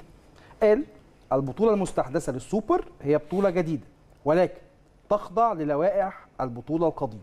وبالتالي لابد من عقوبة على نادي الزمالك بعد انسحابه ولكن قرارات ال- العقوبات هي أمر خاص باتحاد الكرة. فده عشان نقدر بس نوثق كل الأمور أو الملفات الشائكة اللي كانت مفتوحة الفترة اللي فاتت. ده كويس جدا. آه آه طبعا. فين الخبر يا كابتن؟ نعم الخبر أهو. الخبر؟ قال ولكن الخبر أهو في من خبر فيه ولكن؟ الأندية. إن اللوائح لا ده خبر طبعا. ده معلومة مهمة. اللي هي؟ البطولة الجديدة أيوه. ماشية على لوائح البطولة القديمة. تمام. ها. زي ما كانت زي ما النادي الأهلي طلب. آه. أكمل. ونادي ومن وجهة نظره آه. إن نادي الزمالك من وجهة نظره الشخصية ولا كرئيس لا، رابطة؟ من وجهة نظره إن هو قال إيه؟ لكن العقوبات أمر خاص بمجلس إدارة اتحاد الكورة يعني. مش آه. الرابطة. بالظبط. يعني رمى الكرة في ملعب اتحاد الكورة. طبعا بس هو أكد إن البطولتين لوائح واحدة. واحدة. يبقى إحنا النهارده كده حسمنا حاجتين. حسمنا إن الدوري الجديد يوم 18 دوري من دورين 34 أسبوع هيتلعب في 154 يوم مع وعد بإنه هينتهي 31 7 31 7 دي 31. كلها معلومات والامر الآخر فض الإشكالية في بطولتي السوبر ما بين القديمة والحديثة بأنها بطولة مكملة للقديم وده أعتقد جو... رد على اللي. قاله النادي الأهلي وبالتالي تبقى العقوبة. آه افتكروا بقى يا جماعة الحلقة دي خدوها كده إيه زي ويكيبيديا وثقوها بالظبط بعد كده بس ما قالش هنرجع لها طب ما قالش افرض بقى شهر سبعة. طلع ليه؟ 30 ما قالش بس ميعاد لا، بطولة هيبقى السوبر 30 7 لا خلي بالك افرض سبعة ليه بقى؟ ولكن أنا هجاوبك هجاوبك 30 فبراير آه لأن كريم سأل قال سؤال حاجة. جميلة. وعلى هذا اتقال لبطولة السوبر لا أنا هقول لك برضو خبر كان نزل برضو في يلا كورة إن بعض بعض المصادر لينا في اتحاد الكورة قالوا بيفكروا في 12. إقامة البطولة قبل انطلاق بطولة الأفريقي. السوبر الافريقي 20 أكتوبر، يعني قبل 20 أكتوبر اللي هي بطولة فيها أربعة مش. هينفع برضه بقول. لك لأن لأن كأس مصر ما خلص أنا مش آه. عشان بطولة السوبر دي تتلعب لازم خلص تخلص كأس كأس مصر. مصر اللي هو. الزمالك وبيراميدز طب أنا عايز أسأل سؤال. في وسط الزحمة دي هيتعمل كأس رابطة برضو ولا نعم لا مش مهم ده كأس. رابطة اسهل حاجة لا ما هو في وسط. لا هيتلعب في. الدوري لا لا هيتلعب. في الدوري يا كابتن حشيش عشان اثقلنا على الناس في الجد أقول لك بقى دي عاملة زي استطلاع الهلال فاللي هو إيه وعلى هذا فيعد البطولة دي المكملة أيوة، للبطولات السابقة آه، لأنه. ممكن سبعة يبقى 30 المتمم، المتمم. آه فهذا الكأس المتمم يعني عموماً- الموسم القادم يا جماعة عموما عرفنا معلومات خبر. مهمة جدا في هذا اليوم آه، أنا بشكرك جدا يا كابتن حشيش على شكراً. وجودك معانا شكرا شكراً. جزيلا أنا شكراً. بشكرك يا أحمد على وجودك معانا شكرا جزيلا أستاذنا شكراً كابتن شكرا سام. جزيلا شكراً. كريم أنا بشكرك شكرا جزيلا على وجودك معانا يعني كانت حلقة الحقيقة حاولنا ووصلنا الحقيقة لحلول آه، أو معلومات مهمة جدا فيما يخص بداية الدوري فيما يخص السوبر آه، ال- الأخبار اللي قالها لنا كريم سعيد. عموما حلقة زي ما قلنا هي حلقة للتوثيق. عندنا كلام مهم جدا جدا جدا في هذه الحلقة. هيفضل معانا ونشوف ماذا سيحدث حتى يوم 30 7 إذا لم يكن هناك متمم لهذا اليوم على راي الأستاذ عصام. فأنا أنا بشكركم شكرا جزيلا على هذه الحلقة وعلى كل ردود الأفعال اللي جاية أنا بشكركم شكرا جزيلا وغدا حلقة جديدة من البيت الكبير